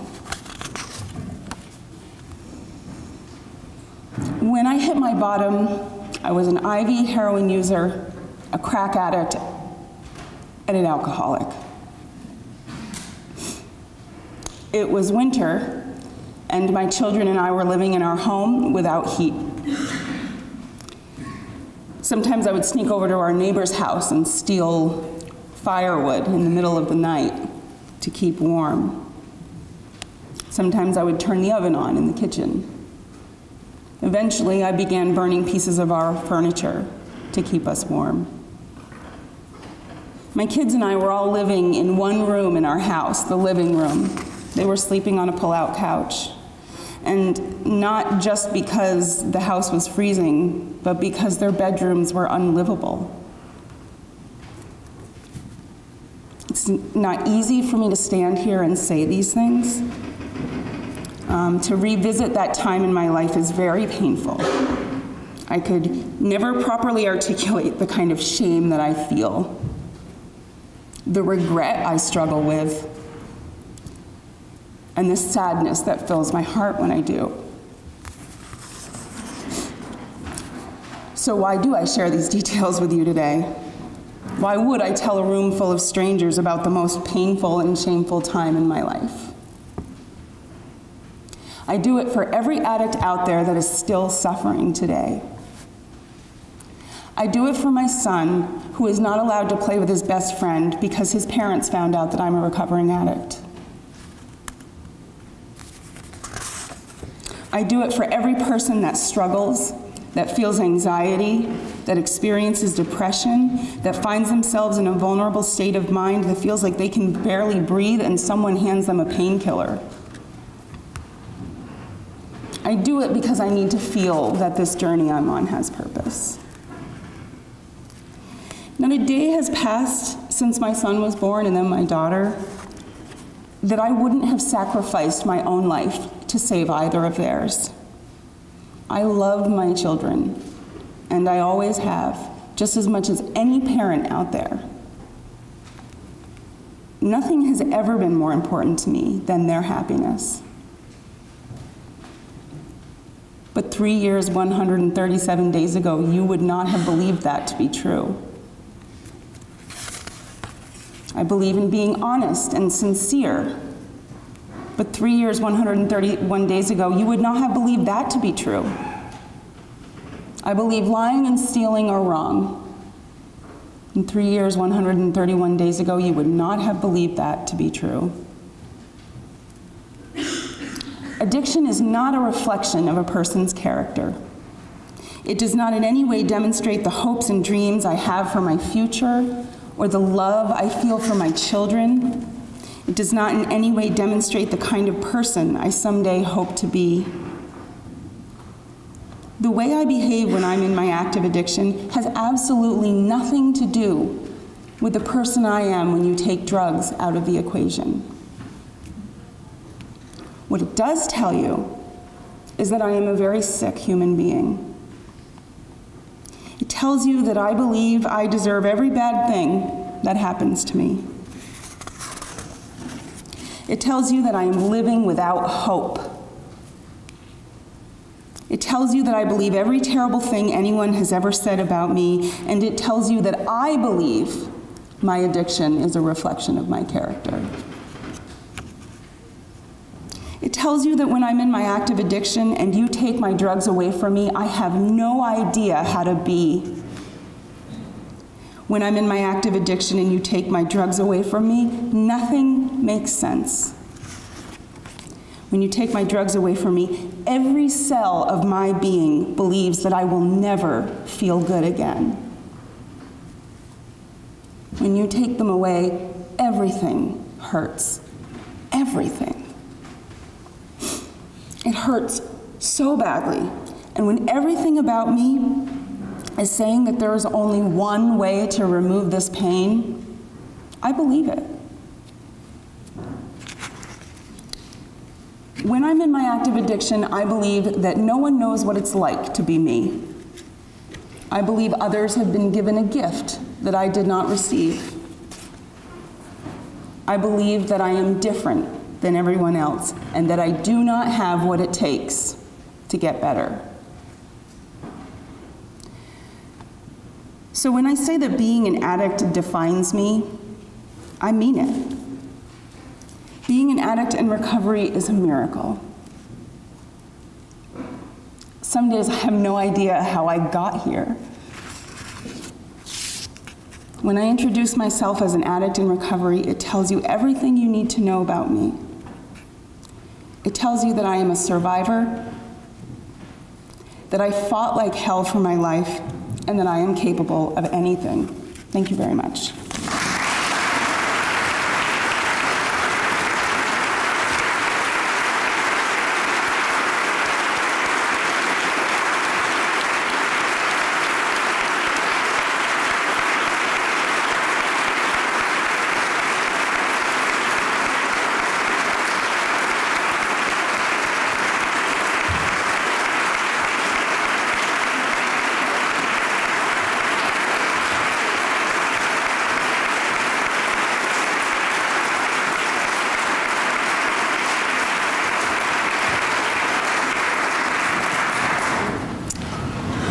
Because we're, um, because we're running short on time, I have a, a conflict. We have some questions, and we want to move on to the next part of our program. So I think what I'm going to do is respectfully ask that we hold the questions and try to make sure we're getting information followed up uh, with you so that you get the answers. Um, A couple of them are informational, uh, more information about the prescription monitoring system, and more information about how we define successful treatment. So hopefully, some of our um, uh, workshops this afternoon might touch more on those, but we will make sure we get information out to people. And then there are several that have um, come together to ask that we make sure that we put a focus on the support that families need and peer support, and encourage that those elements be a part of the, the follow-up in a meaningful way. So I'm just wanting you to know that we're acknowledging uh, your input, and we'll think about how best to, to um, go forward. Um, There are other topics, and again, we'll go through those and, and make, make sure we have um, a way to incorporate them into our follow-up. So I want to thank again all of our morning speakers, uh, the governor and our panel. I think we uh, got a lot of insight into both what we're doing and the emotional aspects of what we're facing. So I thank you all again for sharing with us this morning.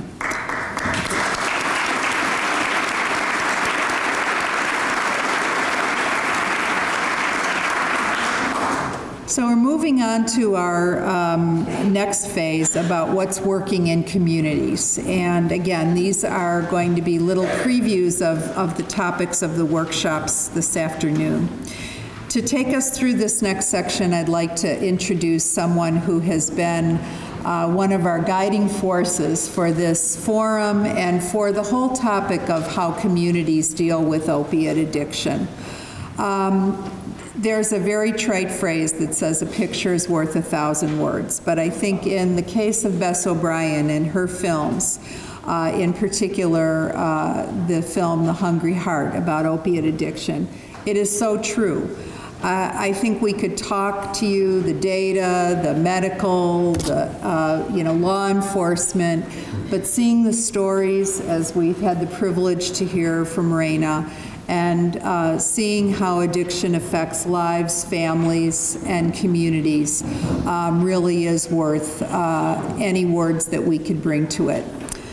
Um, so I'd like to introduce Bess O'Brien.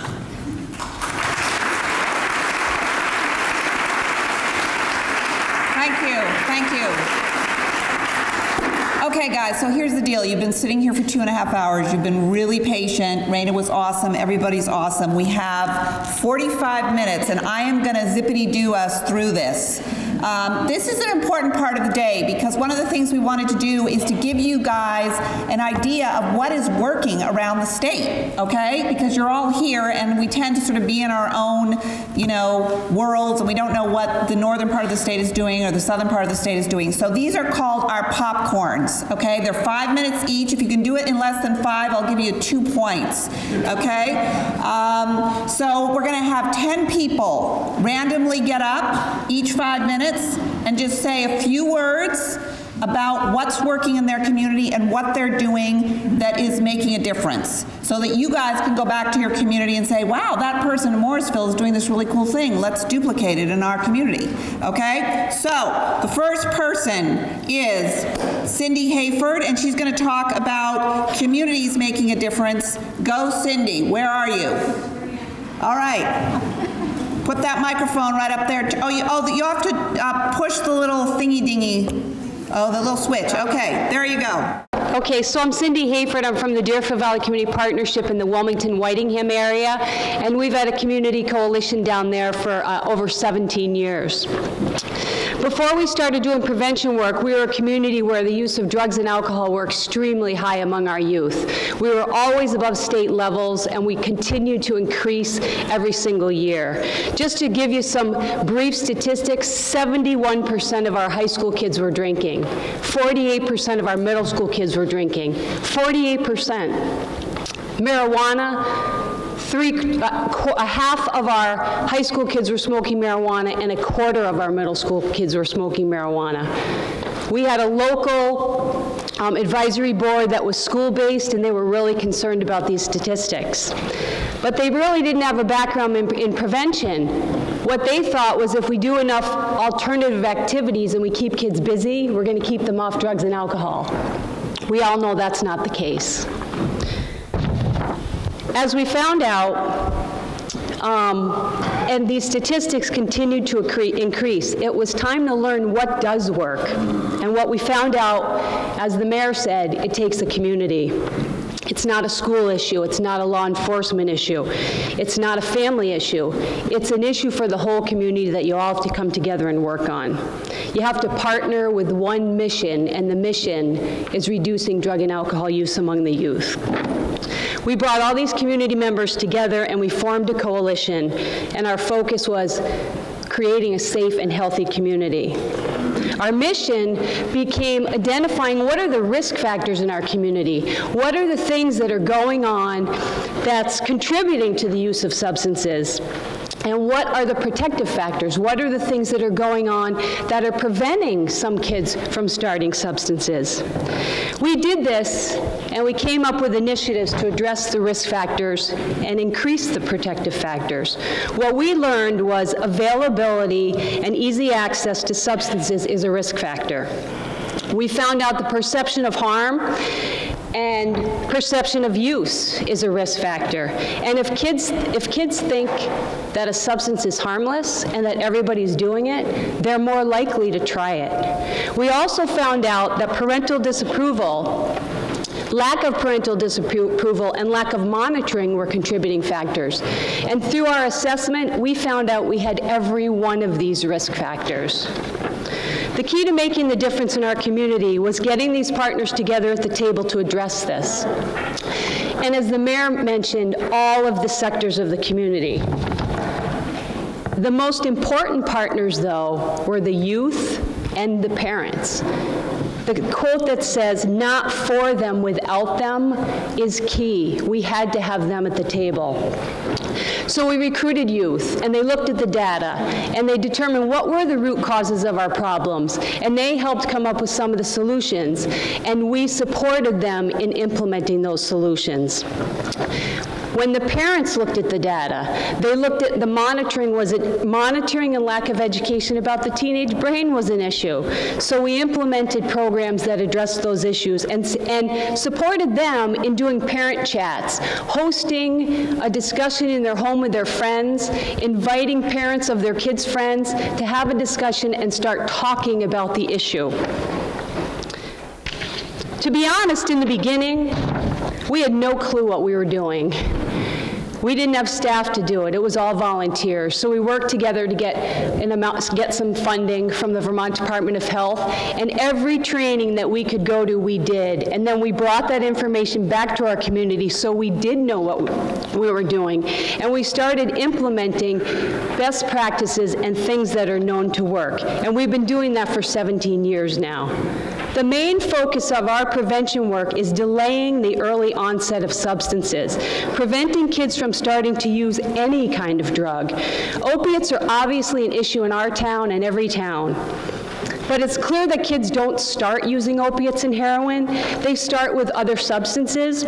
So our work is to implement a comprehensive program that works on things like making our parks smoke-free, changing our environment to reduce access, implementing alcohol-free family events, supporting student assistance programs. This comprehensive programs, these type of comprehensive programs prevent youth from using any substances. And we know if we can prevent them from using any substances until they're 21, they're most likely not to have addiction issue, issues with alcohol, marijuana, or opiates in their lives. So how we made a difference was bringing the community members together, identifying risk and protective factors, implementing promising and research-based programs. We became a community that's seen as a successful model for youth substance abuse prevention. Our success was we saw dramatic drops in use, and we were recognized nationally for it. We still have much work to do, but we feel like we're on the right track. If you'd like to learn more about our work and the work of others, please join us at Communities Making a Difference. Thank you. Yay!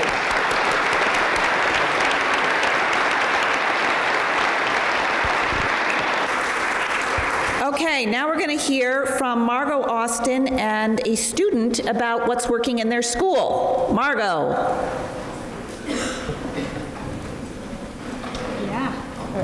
So uh, my name is Noah Smith. I am a student at BHS. Um, I am part of a prevention group called START, which is uh, an acronym for Students Taking Actions and Risks Together. So our goal is to try to um, educate people in awareness if they're aware of it, unaware of it. Um, we do like many uh, different prevention from drugs, alcohol, um, marijuana, stuff like that. So we meet every Wednesday weekly. Um, and one of my favorite activities that we do yearly um, is a leadership retreat, um, which is always a blast, um, lots of fun, and yeah.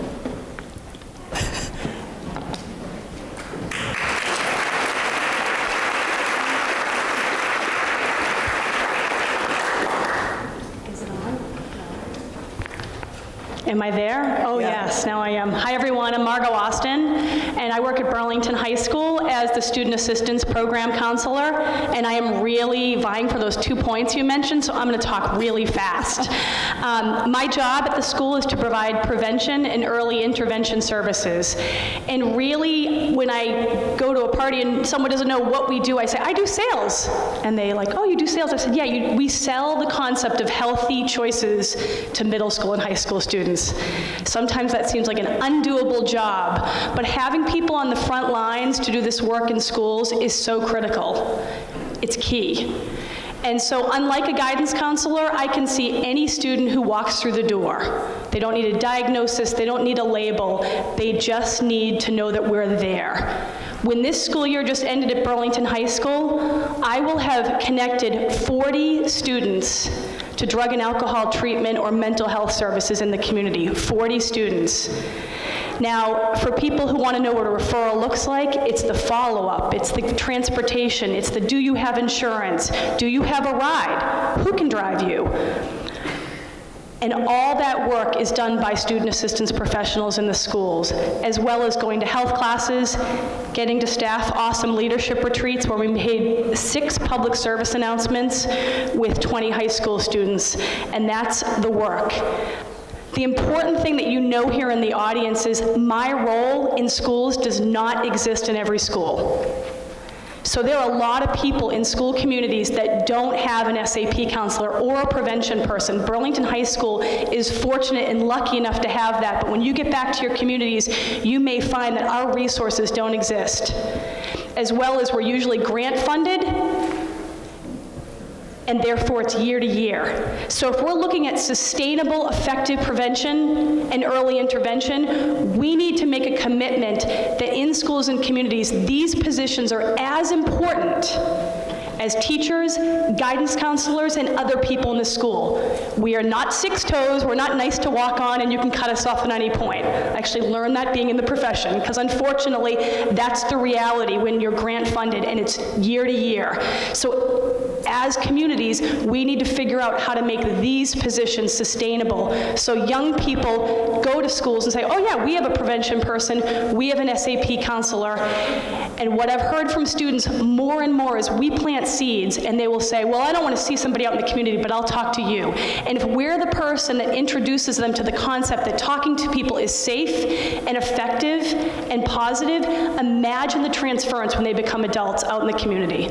So thank you very much.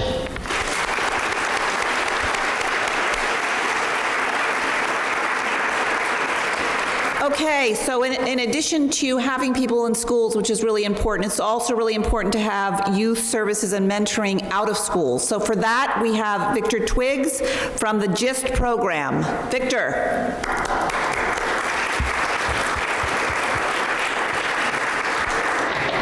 Hi, my name is uh, Victor Twiggs. Um, I'm a coordinator director of a youth group by the name of GIST. We work in Morrisville, Vermont, Lamoille County. Um, GIST is a group that uh, we created there because when I moved in the area, I realized there was a lot of suicides going on in the area. Um, and me and my co-founder by the name of Terry Keller, who works for Behavior Wellness, we came together real briefly and we said we need to try to do something. He's, um, we got together and we sat down and I was going to all these meetings and meetings and we said to ourselves, it's got to be something we can do. I mean, we're hearing about these youth killing themselves from addiction, um, just all types of things.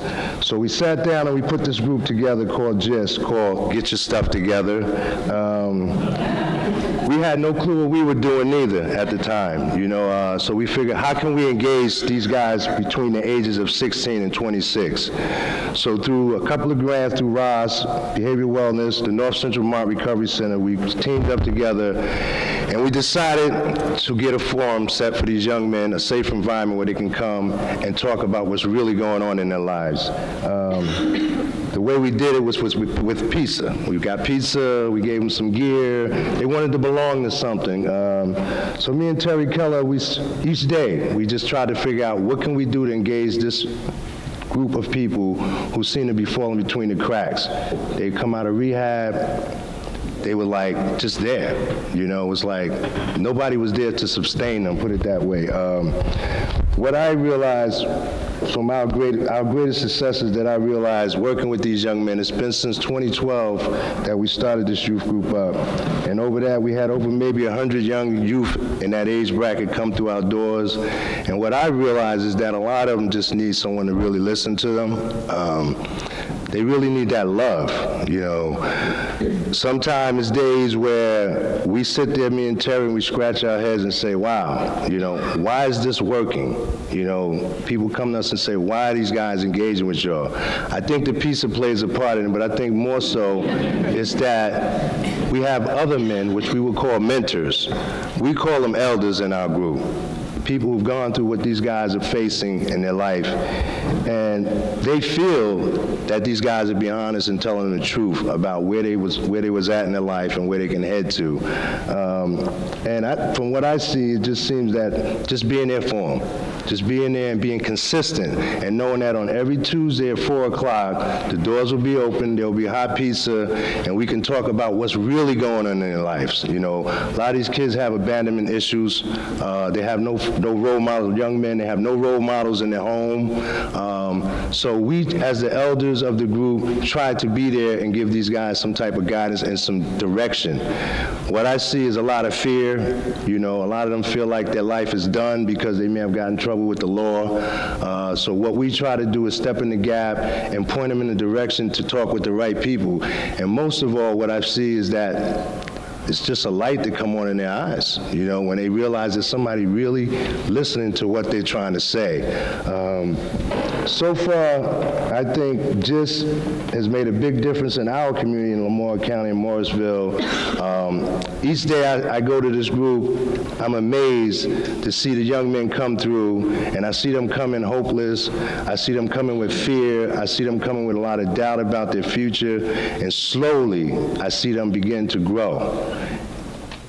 And the beautiful thing about it is that when they start to grow, now they're looking for direction. So we team up with all these other organizations and we try to point them, like I said, in these directions to where they can have an opportunity to believe that they can step back and become a productive member of society and not give up and think that this is who I'm going to be for the rest of my life because of, it's just not addiction.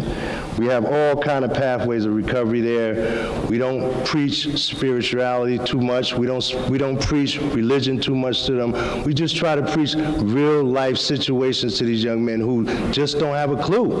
They don't have a clue, you know, and um, I don't know if I'm uh, getting down to what I'm supposed to say. I want to keep it as brief as possible, but basically, they need love.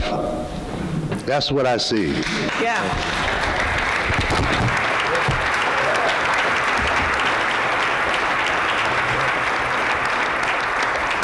So, so many of these things that you're hearing about, I hope that you'll go say, we should start a GIST program in our community and call Victor and he can come down and help you, or any of these other people who you're hearing about. Okay, the next person is Paul Bengtson, and this is health and medical centers and what innovative stuff they're doing. Paul? Uh, Yes, my name is Paul Banks and I'm CEO at Northeastern Vermont Regional Hospital in St. Johnsbury, Vermont. And uh, we've been, uh, well, I've lived in St. Johnsbury for 27 plus years, raised with my wife, uh, my three daughters there, and it's a wonderful community. Uh, But we've been struggling with these challenges all my life there and probably even before that. Um, Speaking from a medical or a hospital perspective, um, uh, hospitals can express love too. I mean, not maybe individually, but um, certainly uh, in terms of making themselves more available to the community. So uh, our mission is uh, to improve the health of the populations we serve, and so uh, what that means to me is the whole population, not just the people who walk through our doors. So uh, our, our role, leadership role, is to be a resource, a facilitator, a team player, and a solutions-oriented leader. And some of the things uh, we're involved in doing is making sure that we're building a context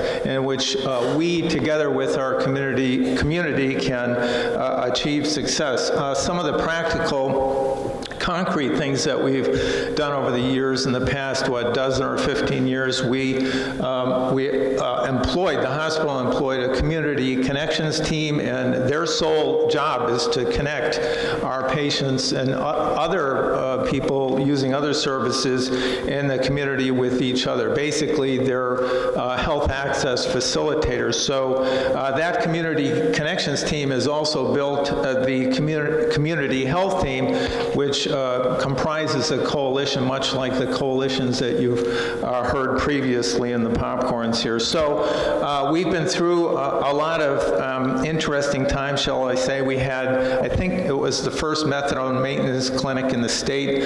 Uh, we took a lot of slings and arrows. You take a lot of uh, heat for introducing some of these programs into your communities, like uh, the methadone maintenance uh, programs and um, the needle exchange programs and other harm reduction programs. So uh, we have a lot of experience de dealing with the, um, the anger, confusion, ignorance, and uh, love, basically. Um, so um, we also purchased uh, what we call the Dr. Bob House, and uh, it used to be a Farm Bureau loaning building, and what we did is we changed that into a Kingdom Recovery Center, which is led by uh, uh, several people here in this room. So uh, it's not like the hospital did these things on its own because it can't. We have wonderful people that you'll hear from uh, later, like Steve Klein right here and others who have just, and Nancy Bassett back here, have just done incredible jobs uh, putting these organizations together. Most recently, uh, a coalition called DART uh, 2.0. It's the um, regeneration of uh, a, an effort that was called the Drug Abuse Resistance Team. Uh, we call it DART 2.0 because it's a, uh, resistance team, a smarter DART for uh, new challenges. And we're working on things like practical metrics, get the waiting list for treatment down to zero. Uh, BAART is the hub in our area, that's the Bay Area Treatment Programs, and they're doing a wonderful job working with this uh, coalition to do that. So uh, we also have prescription monitoring systems in place and that sort of thing, but we're along the borders, so we have some of the problems that people heard about. But um, we're here certainly to uh, learn a lot today, and I appreciate this. Thank you.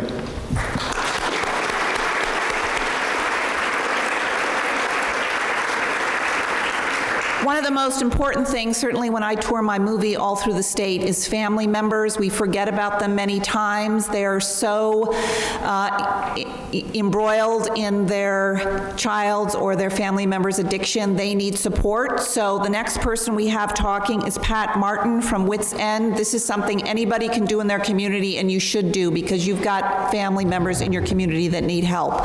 Pat, where are you? Right here. Okay. Good morning. Can you stand up? I can't today. Okay, that's fine. Um, my name is Pat Martin, and I'm married to Kathy, beautiful wife. We had three wonderful children, daughters that we raised in the city of Rutland. And life was good for a long time. I had a good job with the government, and we thought, you know, we were on easy street, so to speak. Till we got a, a knock on the door, March 25th, 1999. It was that knock you never want to have as a parent. There was an officer from the local Rutland City Police Department that said that he had reason to believe that our daughter was at the local ER and would we come and identify her body. She is deceased. It was our firstborn, Sarah. She was just 19 years old and enrolling in college. She had her whole life ahead of her extremely brilliant and, and just the model child that you, any parent would want to have. She had gone out with some friends the night before and didn't come home. Her 100 pound body that was also full of juvenile rheumatoid arthritis could not survive the 82% pure heroin mixed with benzos that she was given to snort. Kathy and I we fell to our knees and we were numb for days and weeks and months. And we realized after considerable time that in order to survive, we had to do something about this. We didn't know where to go. We felt lost and alone. We were ashamed. We were shunned by some. And we felt we were guilty of, of everything that had happened. Who could we turn to for answers and support? When did this problem begin? Why didn't we see the signs? What were the signs? How could we survive and save our marriage and our family? What could we do to keep others from suffering the same tragedy? We were at our wits' end, and so the seed was sown. After trying to find a support group that filled our needs and failing at that, we made a want list. And we decided to start our own group called Wits End to fill the needs of education and support to families of addiction in a free, open, and confidential setting with a professional counselor present for the questions that may arise needing a greater level of expertise than what we had. We brought our plan to the Rutland County Heroin Committee as concerned parents who wanted our voice to be heard and considered, considering our kids' future. With some initial support from the Vermont Department of Health ADAP unit, we started meetings on September 24, 2001, and we've been meeting every Tuesday night since. Despite losing our funding several years ago, we still have managed to find a way to keep a counselor in the room because we feel it is so important to have that professional input for the, the folks that come through the door. We've steadily grown in the numbers of families attending and in the scope of the problems addressed. We educate the folks about signs and symptoms of use and abuse, about the appropriate responses that could be taken, about the treatment services that are available, about the glossary of addiction and mental health. Uh, we have 12 pages here. This is a partial list. Uh, so understand that people that are not in the system do not know how to speak that language, so we try to help them in that way. We network what works and what doesn't in our own collective experience. We support families in their chosen response to addiction, treatment, relapse, and recovery. And we recognize that the family needs to be educated about addiction and also healed from the enabling behavior to help the addict returning from treatment to come home to a healthier environment. After 14 years and hundreds of meetings, hundreds of parents have been coming together over these years, and the families are healthier, stronger, and more open to helping the others just coming through the door, just entering into, into the abyss of addiction. We're not faith-based, we're not 12-step, although we fully support anything that helps.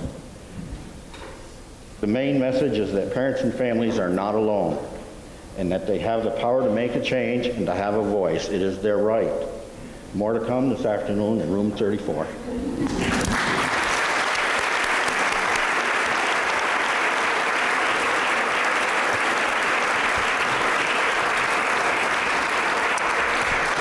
Okay, and just as uh, everyone has said before, everyone needs to be around the table. So we have next um, Chief James Baker from Rutland City Police Department talking about what they've done in Rutland. Good morning. Thank you. Pat, uh, again, you've been in Rutland working uh, side by side with people for years, and my hat's off to you. First, I want to recognize the fact that I represent Rutland, but there's many people in this room and other people that are back home in the city of Rutland who have worked very hard over the last two years to build a structure in Rutland that is starting to make a difference. It builds on the strength of Rutland and what's great about the city of Rutland. I am the police chief, but that should not be seen as an indication that this issue is seen as a law enforcement issue in Rutland. It's no more a police issue than it is a public health issue or an issue of education or prevention. This is a community issue, and you're going to hear me use a few terms that the mayor used and other people have used because it's become part of our vocabulary in Rutland. It's all hands on deck. It requires that approach in order to be successful. We have based our strategy on the concept of all hands on deck a word of advice that actually comes from some of the research partners that we've worked with. To try to do it any other way, to try to do it from a narrow perspective, is going to be a sure path to failure. I want to touch on three areas in my, my time now, and uh, please stop by room 11 this afternoon where there'll be further discussion. Two years ago, the police department was demoralized and absolutely no trust in the community for the police department. Why do I say that in an opiate form? Because the issue of opiates played into that. There was an unrealistic expectation in the city of Rutland that the police department would solve the opiate problem. Every issue that occurred in the city that was related to a drug abuse situation was laid at the doorstep of the police department. Every time it was laid at the door of the police department, the police department became more aggressive in its enforcement actions in the city. It led to a huge mistrust among citizens, and the problem was the history of enforcement in the city was indicative that enforcement wasn't going to resolve the issue. Not one of the underlying issues in Rutland or anywhere else that account for addiction has anything to do with the police department. It became apparent to us in Rutland, in order to move the ball down the field, we were going to have to take a different approach. As we began that conversation with non-traditional law enforcement partners in the city of Rutland, we also had a situation on, on the streets of Rutland where we had shots fired on a regular basis. We had a culture on the street where our community values were not being respected by individuals who chose to do harm to our community, and it required us to take aggressive enforcement actions. Our first operation in the summer of 2012 resulted in the seizure of almost 8,000 bags of heroin and $90,000 in cash. Now, I stand here in front of you with almost 40 years of law enforcement experience. I was shocked that we could seize the first operation, 8,000 bags of heroin. It left us wondering to understand the depth of the addiction in the city of Rutland and the area that surrounded it. We realized that this was our first awakening and we could no longer do business as usual. Our second awakening came on September 26, 2012, at about 6 p.m. on Cleveland Avenue in the city of Rutland. It was on that day that we lost one of our rising stars in the city. Carly Farrell was struck by a vehicle and killed as she exited her store, leaving work. Carly is one of our stars in our city. Honor student in high school, all-star golf player, worked several jobs. In fact, worked a job in this neighborhood because she felt like she wanted to give back to that neighborhood. The individuals in the car, all three of them, were on some type of conditions of release for prior drug offenses. One of them in federal court, one of them in state court in Vermont, and one of them in state court in the, in the state of uh, New York. This caused the community to become laser focused. We started meeting more often. We started bringing non-traditional partners to the table. And we started to develop a strategy championed by Chief Mike Schirling of the Burlington Police Department, known as the Community Intervention Team. The vision was to make all resources available and force multiply those resources in our community to raise the quality of life. Some of the folks that we brought to the table early on were social services agency, elected officials, police departments, domestic violence advocacy community, drug courts, corrections, prosecutors, business community, faith community, mediation service, neighborhood citizens, and many others. Working collectively as a group, we sought out the assistance of Senator Leahy's office and we applied for a federal grant. To make a long story short, we didn't receive the grant, but it gave birth to Project Vision that the mayor described earlier. The process demonstrated to us the importance of research and staying faithful to evidence-based modeling that produces results. We have engaged criminologists from Harvard, John Jay College, Michigan State University, as the mayor talked earlier, the University of Miami. We have stayed faithful to the concept of utilizing research to validate our processes. Today, Project Vision is alive and well, and the mayor mentioned it earlier. Over 100 people meet on a monthly basis. We have subcommittees looking at crime and safety, substance abuse, prevention treatment, neighborhoods, and housing. They're working on strategies that are outcome-based. The result of that collaboration of resources, Rutland City Police Department is now home to a variety of non-traditional partners that operate on the guiding principle that we face a very complicated issue that requires a complicated response.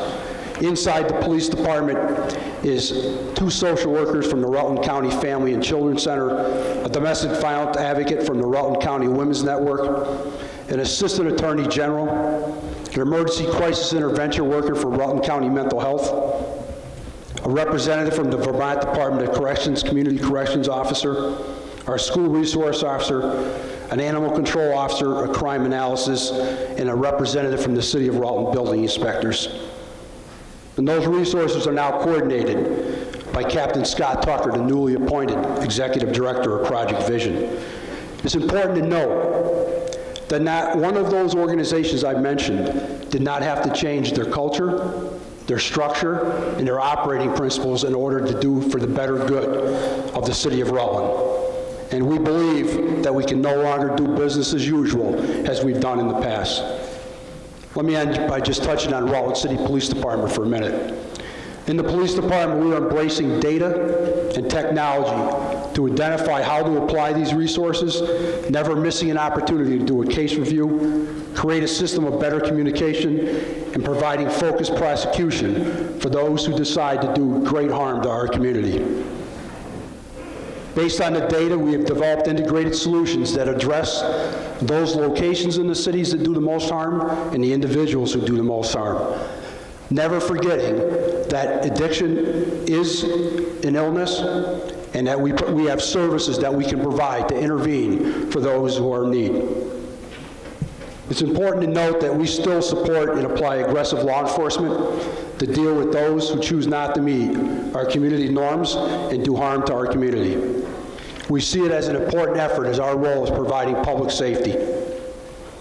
That's why we still maintain partnerships with the Vermont Drug Task Force, the Vermont State Police, and our federal law enforcement partners.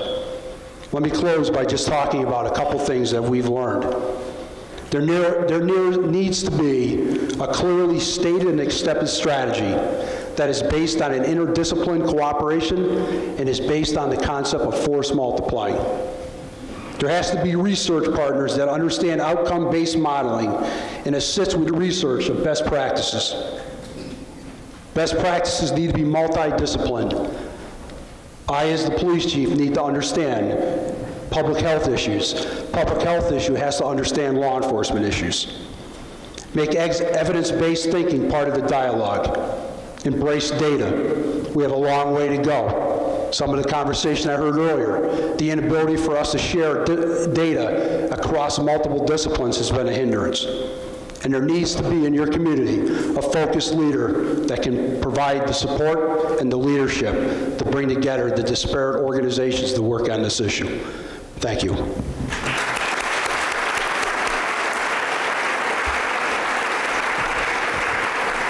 Thank you. Of the other things that's really important is when people get out of treatment and they come back into the community, they need to get a job. They need to make money. And so the next panelist is Mickey Wiles. He's from Burlington Labs, and he's going to talk about hiring people in recovery. Mickey.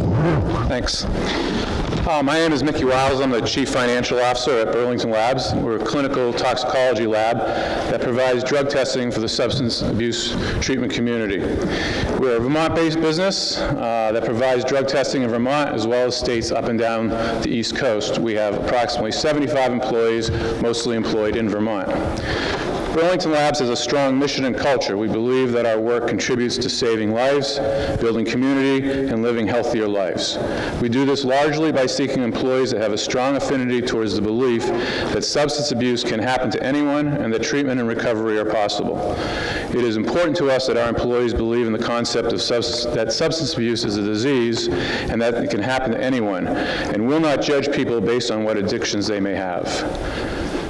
Although these, along these same lines, we hire people who deserve a second chance as well.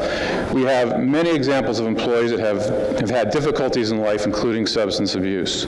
The president and founder of our company, Michael Casarico, and myself are both in long-term recovery. I personally struggled with untreated addictive behaviors that landed me in prison for two years. Today, I have the opportunity to work in my field of expertise, as well as work in a company that is fully supportive of my own recovery needs. After all, recovery is a lifelong process for those of us who are afflicted with substance abuse addictions.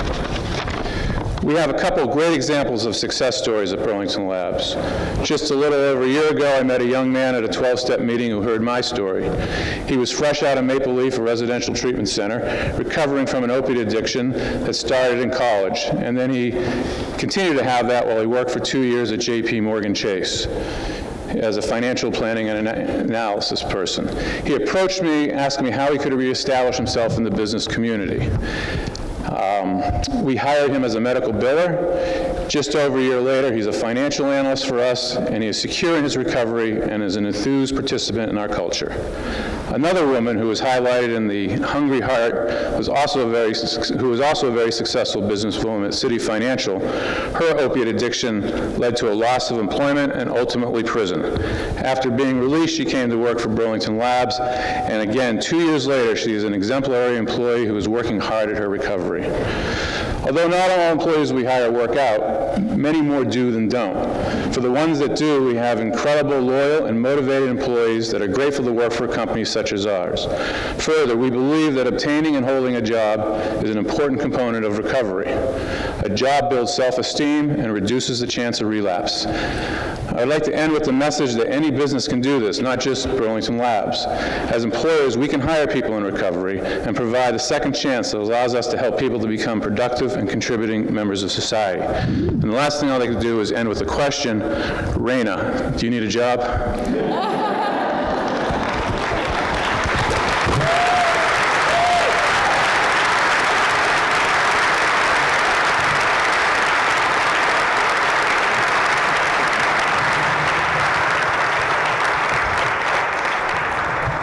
So one of the things we're hoping is you're going to go back to your community and you're going to say to yourselves, how many businesses in our community hire people who are in recovery? And do a little chart and see if there is anybody. And if there isn't, try to include them in your community meeting and get them on board, just like Burlington Labs is doing. Fantastic. Okay, the other thing that people need when they come out of recovery is housing. And many times we don't have housing for them. So we've got somebody here who's going to talk to us, Elizabeth Ready, about how important housing is for people in recovery. Thank you very much. And we're really happy. I think Burlington Labs is coming to Addison County, right? Is that right? Yeah. So uh, the people who are coming uh, out of treatment are often coming to live in shelters. And uh, each of us, I think, had our hearts break when we read in the paper or hear a story on TV about some of the children, uh, another child dying just recently in a shelter. And I think of those parents, I think of those uh, people that are running the shelter. We are all asking ourselves, how did this happen? Who is to blame? Where is it going to end? But I think the most important thing, and the mayor touched on it, and I think many of the speakers have touched on it, the causes and conditions that go into that situation are so many, and it's very difficult to point any finger at any one place. So our work is to begin to wind back some of the causes and conditions that cause these situations and to try to plant some new seeds uh, that we can help water while they are in our housing. I'm going to name five things. I hope one of those five things is something everybody here uh, can try to do. First and foremost, housing comes first. You cannot undertake this kind of intention that people like Raina have, have undertaken and others have spoken about unless you are safe, you have a place to live, uh, and you're free from fear. Imagine that family huddled around that oven. It just doesn't work well for people. People use more when they're outside. It's very difficult to raise a family from the back seat of a car. So housing comes first, and it has to be unconditioned on worthiness. The people, we don't say who's worthy. If they want to work on recovery, they deserve a place to live. So housing comes first. Secondly comes services. Uh, I think that, um, was it, I can't remember exactly who said, it was Victor who said, uh, no, it was Raina who said, there's a person inside here.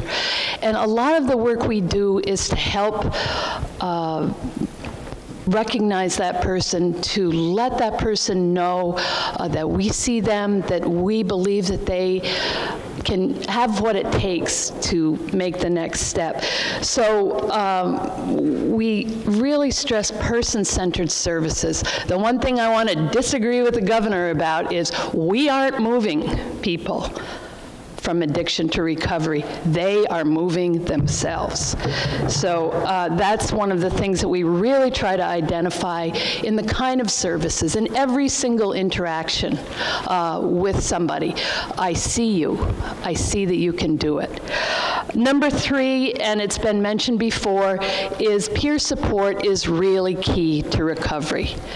It's not very difficult to see who the most powerful people in this room are. Uh, they are the people who have the experience, who speak from that strength. And I would include there Pat and other people that have spoken about their families, and Raina and other people. I wish we had more. Peer support is key to successful housing, it's key to successful services, and it's key to the credibility of your organization. So people need to be on the boards, they need to be managed, helping to manage uh, in the units. Number four, clinical services, including medication-assisted treatments, are accessible and once again person-centered. Uh, we are not coming in with a program. We are not the experts. People are going to have to move uh, deeply within themselves to make the changes. We're really lucky. We have a lot of our team members here from Addison County. We have a contract um, with the Counseling Service of Addison County. They're in the shelter every week. Uh, we have clinicians that are on our staff. And so the whole notion of peer-assisted and uh, strong clinical supports that are uh, person-centered are not two separate ideas. Um, the last thing I want to bring up is, I think uh, Doctor mentioned it, uh, relapse happens, don't give up. I think that uh, more than 80% of people are not going to make it the first time. And um, if we really uh, can keep touch with them, let them know that we're out there. Um, I'm hoping that um, the hungry heart will eventually become uh, the open heart and uh, we can begin to change uh, the situation. Thank you very much.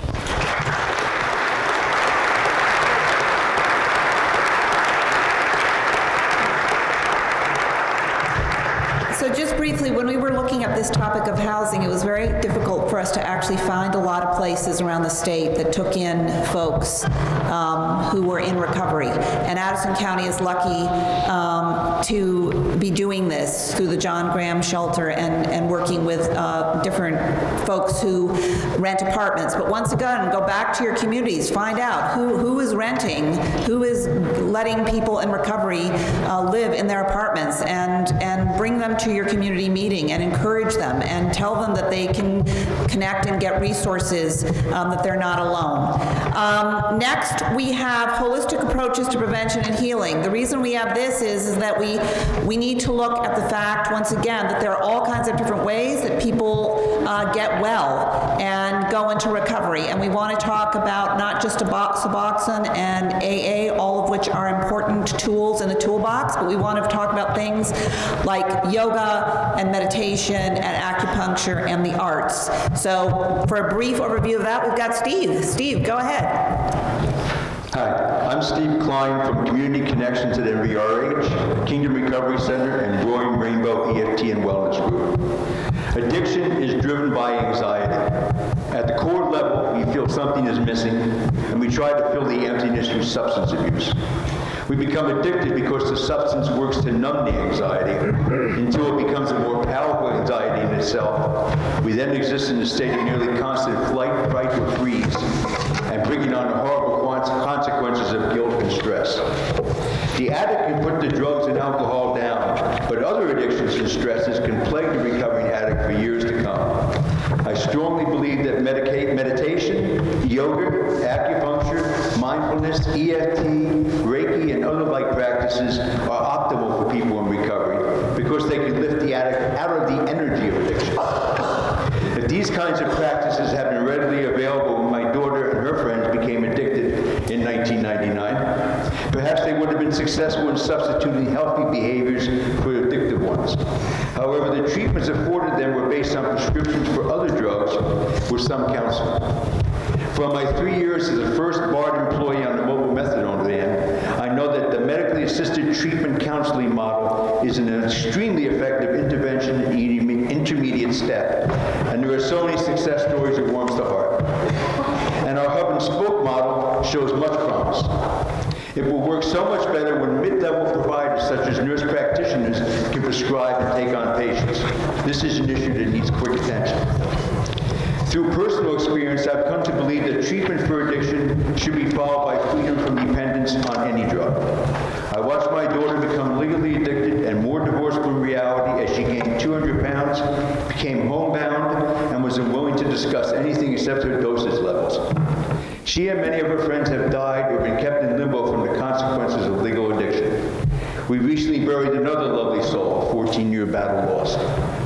It's time to choose more effective routes to real long-term recovery, which is recovery to a satisfying and fulfilling community life, not just ending illegal substance use and wasting away in a psychotropic thrive. I want people to be enabled, not disabled.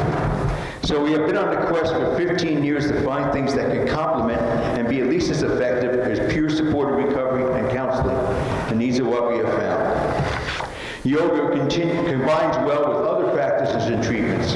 Breath and posture move energy throughout the body, strengthen body and mind, and allow the growth of a discipline that can carry over to daily life and reduce dependency on things outside of oneself. The emotional freedom techniques, also known as meridian tapping, EFT, or simply tapping, address two levels of addiction. The immediate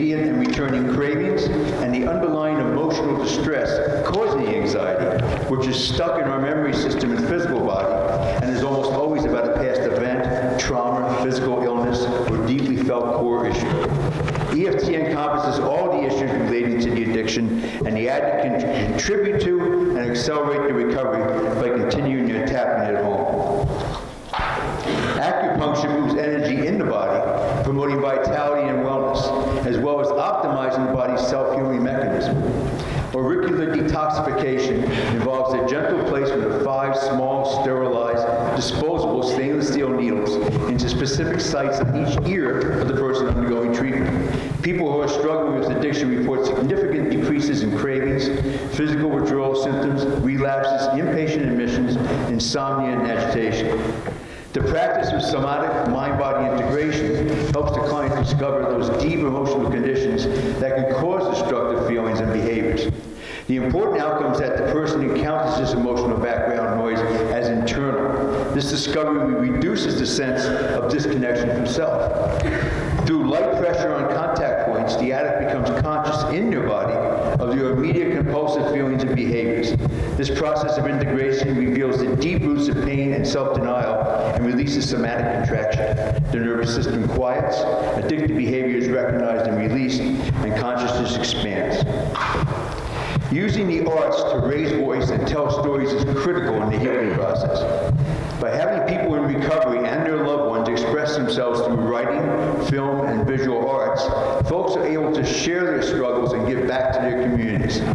Instead of feeling ashamed of their past lives, they can use their experiences to create change. When we toured the film Here Today, Bessett's first film about opiate addiction, to over 100 locations, those who told their story recovered, and we changed the face of how our state addresses addiction. I firmly believe that addiction enters through an empty heart, so we need to continue the heart-to-heart conversation we're starting here today. Sometimes it's a good thing to be literally out of our minds and into our hearts and express both the pain and the beauty found there. The practices mentioned here can and should be tools that will assist us in effectively preventing and treating addiction and fostering long-term recovery to a fulfilling, fruitful life. We owe ourselves, our children, and our state that much. We need to add to our toolbox. A list of practitioners is available at the workshop or by contacting me. Thank you.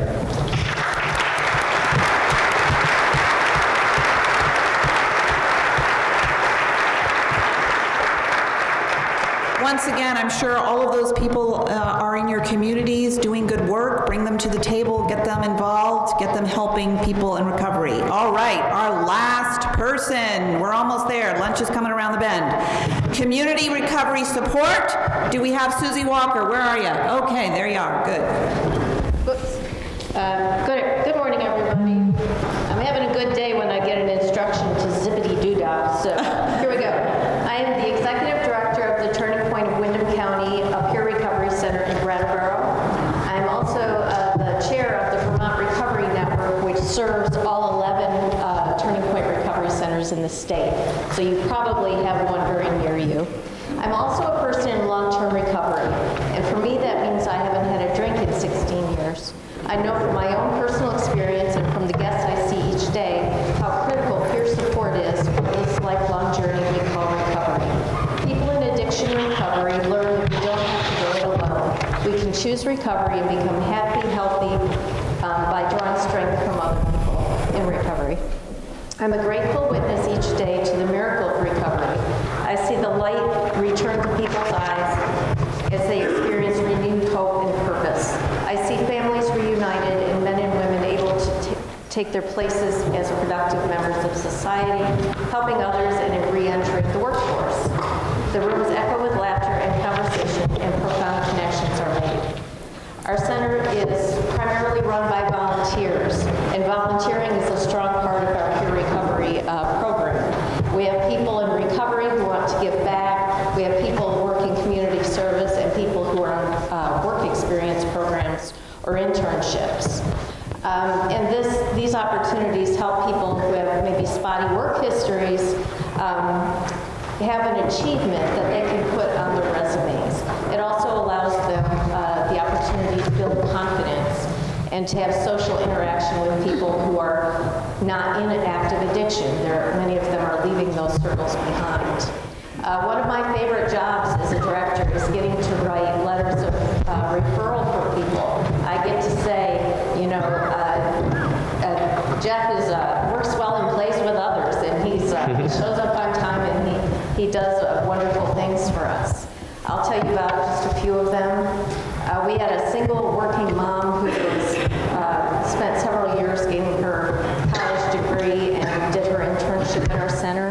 She recently graduated and started a job in her field, this field. Uh, a young man in recovery uh, just volunteered for 25, 30 hours a week because he was trying to figure out what he wanted to do as a person in recovery. He became an essential part of our team and now is a, a staff member of both our network and our center. Uh, we had a woman who had a really hard time showing up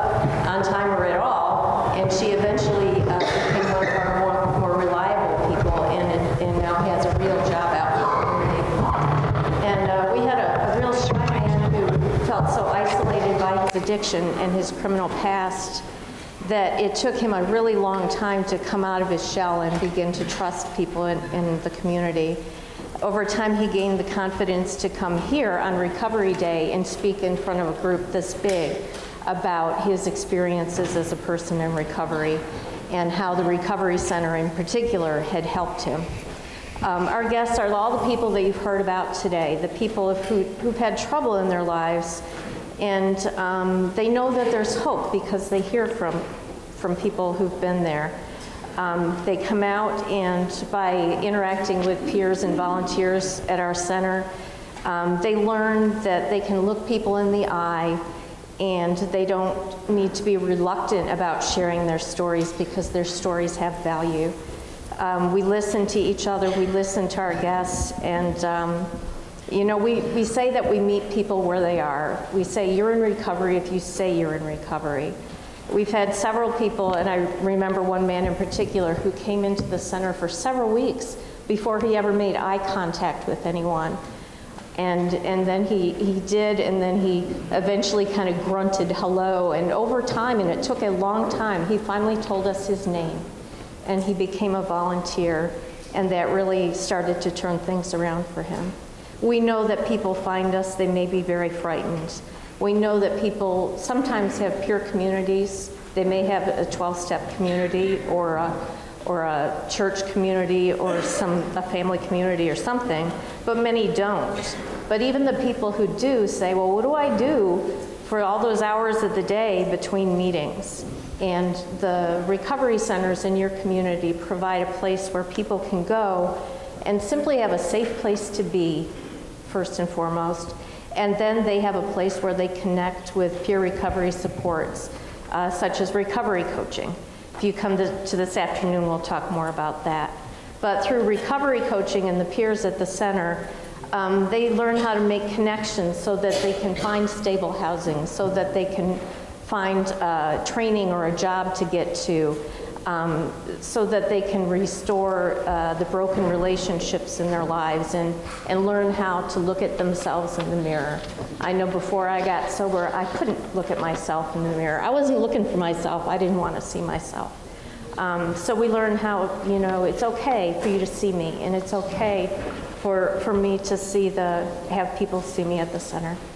Um, there's a lot of powerful work going on at all the 11 centers and potentially a new one coming up soon. Uh, we have a couple of SAMHSA grants that are allowing us to have more staffing so that we can do more of our important work. Um, and uh, we, we, I hope you'll come and join us this afternoon and learn what else is going on. Thank you. Thank you.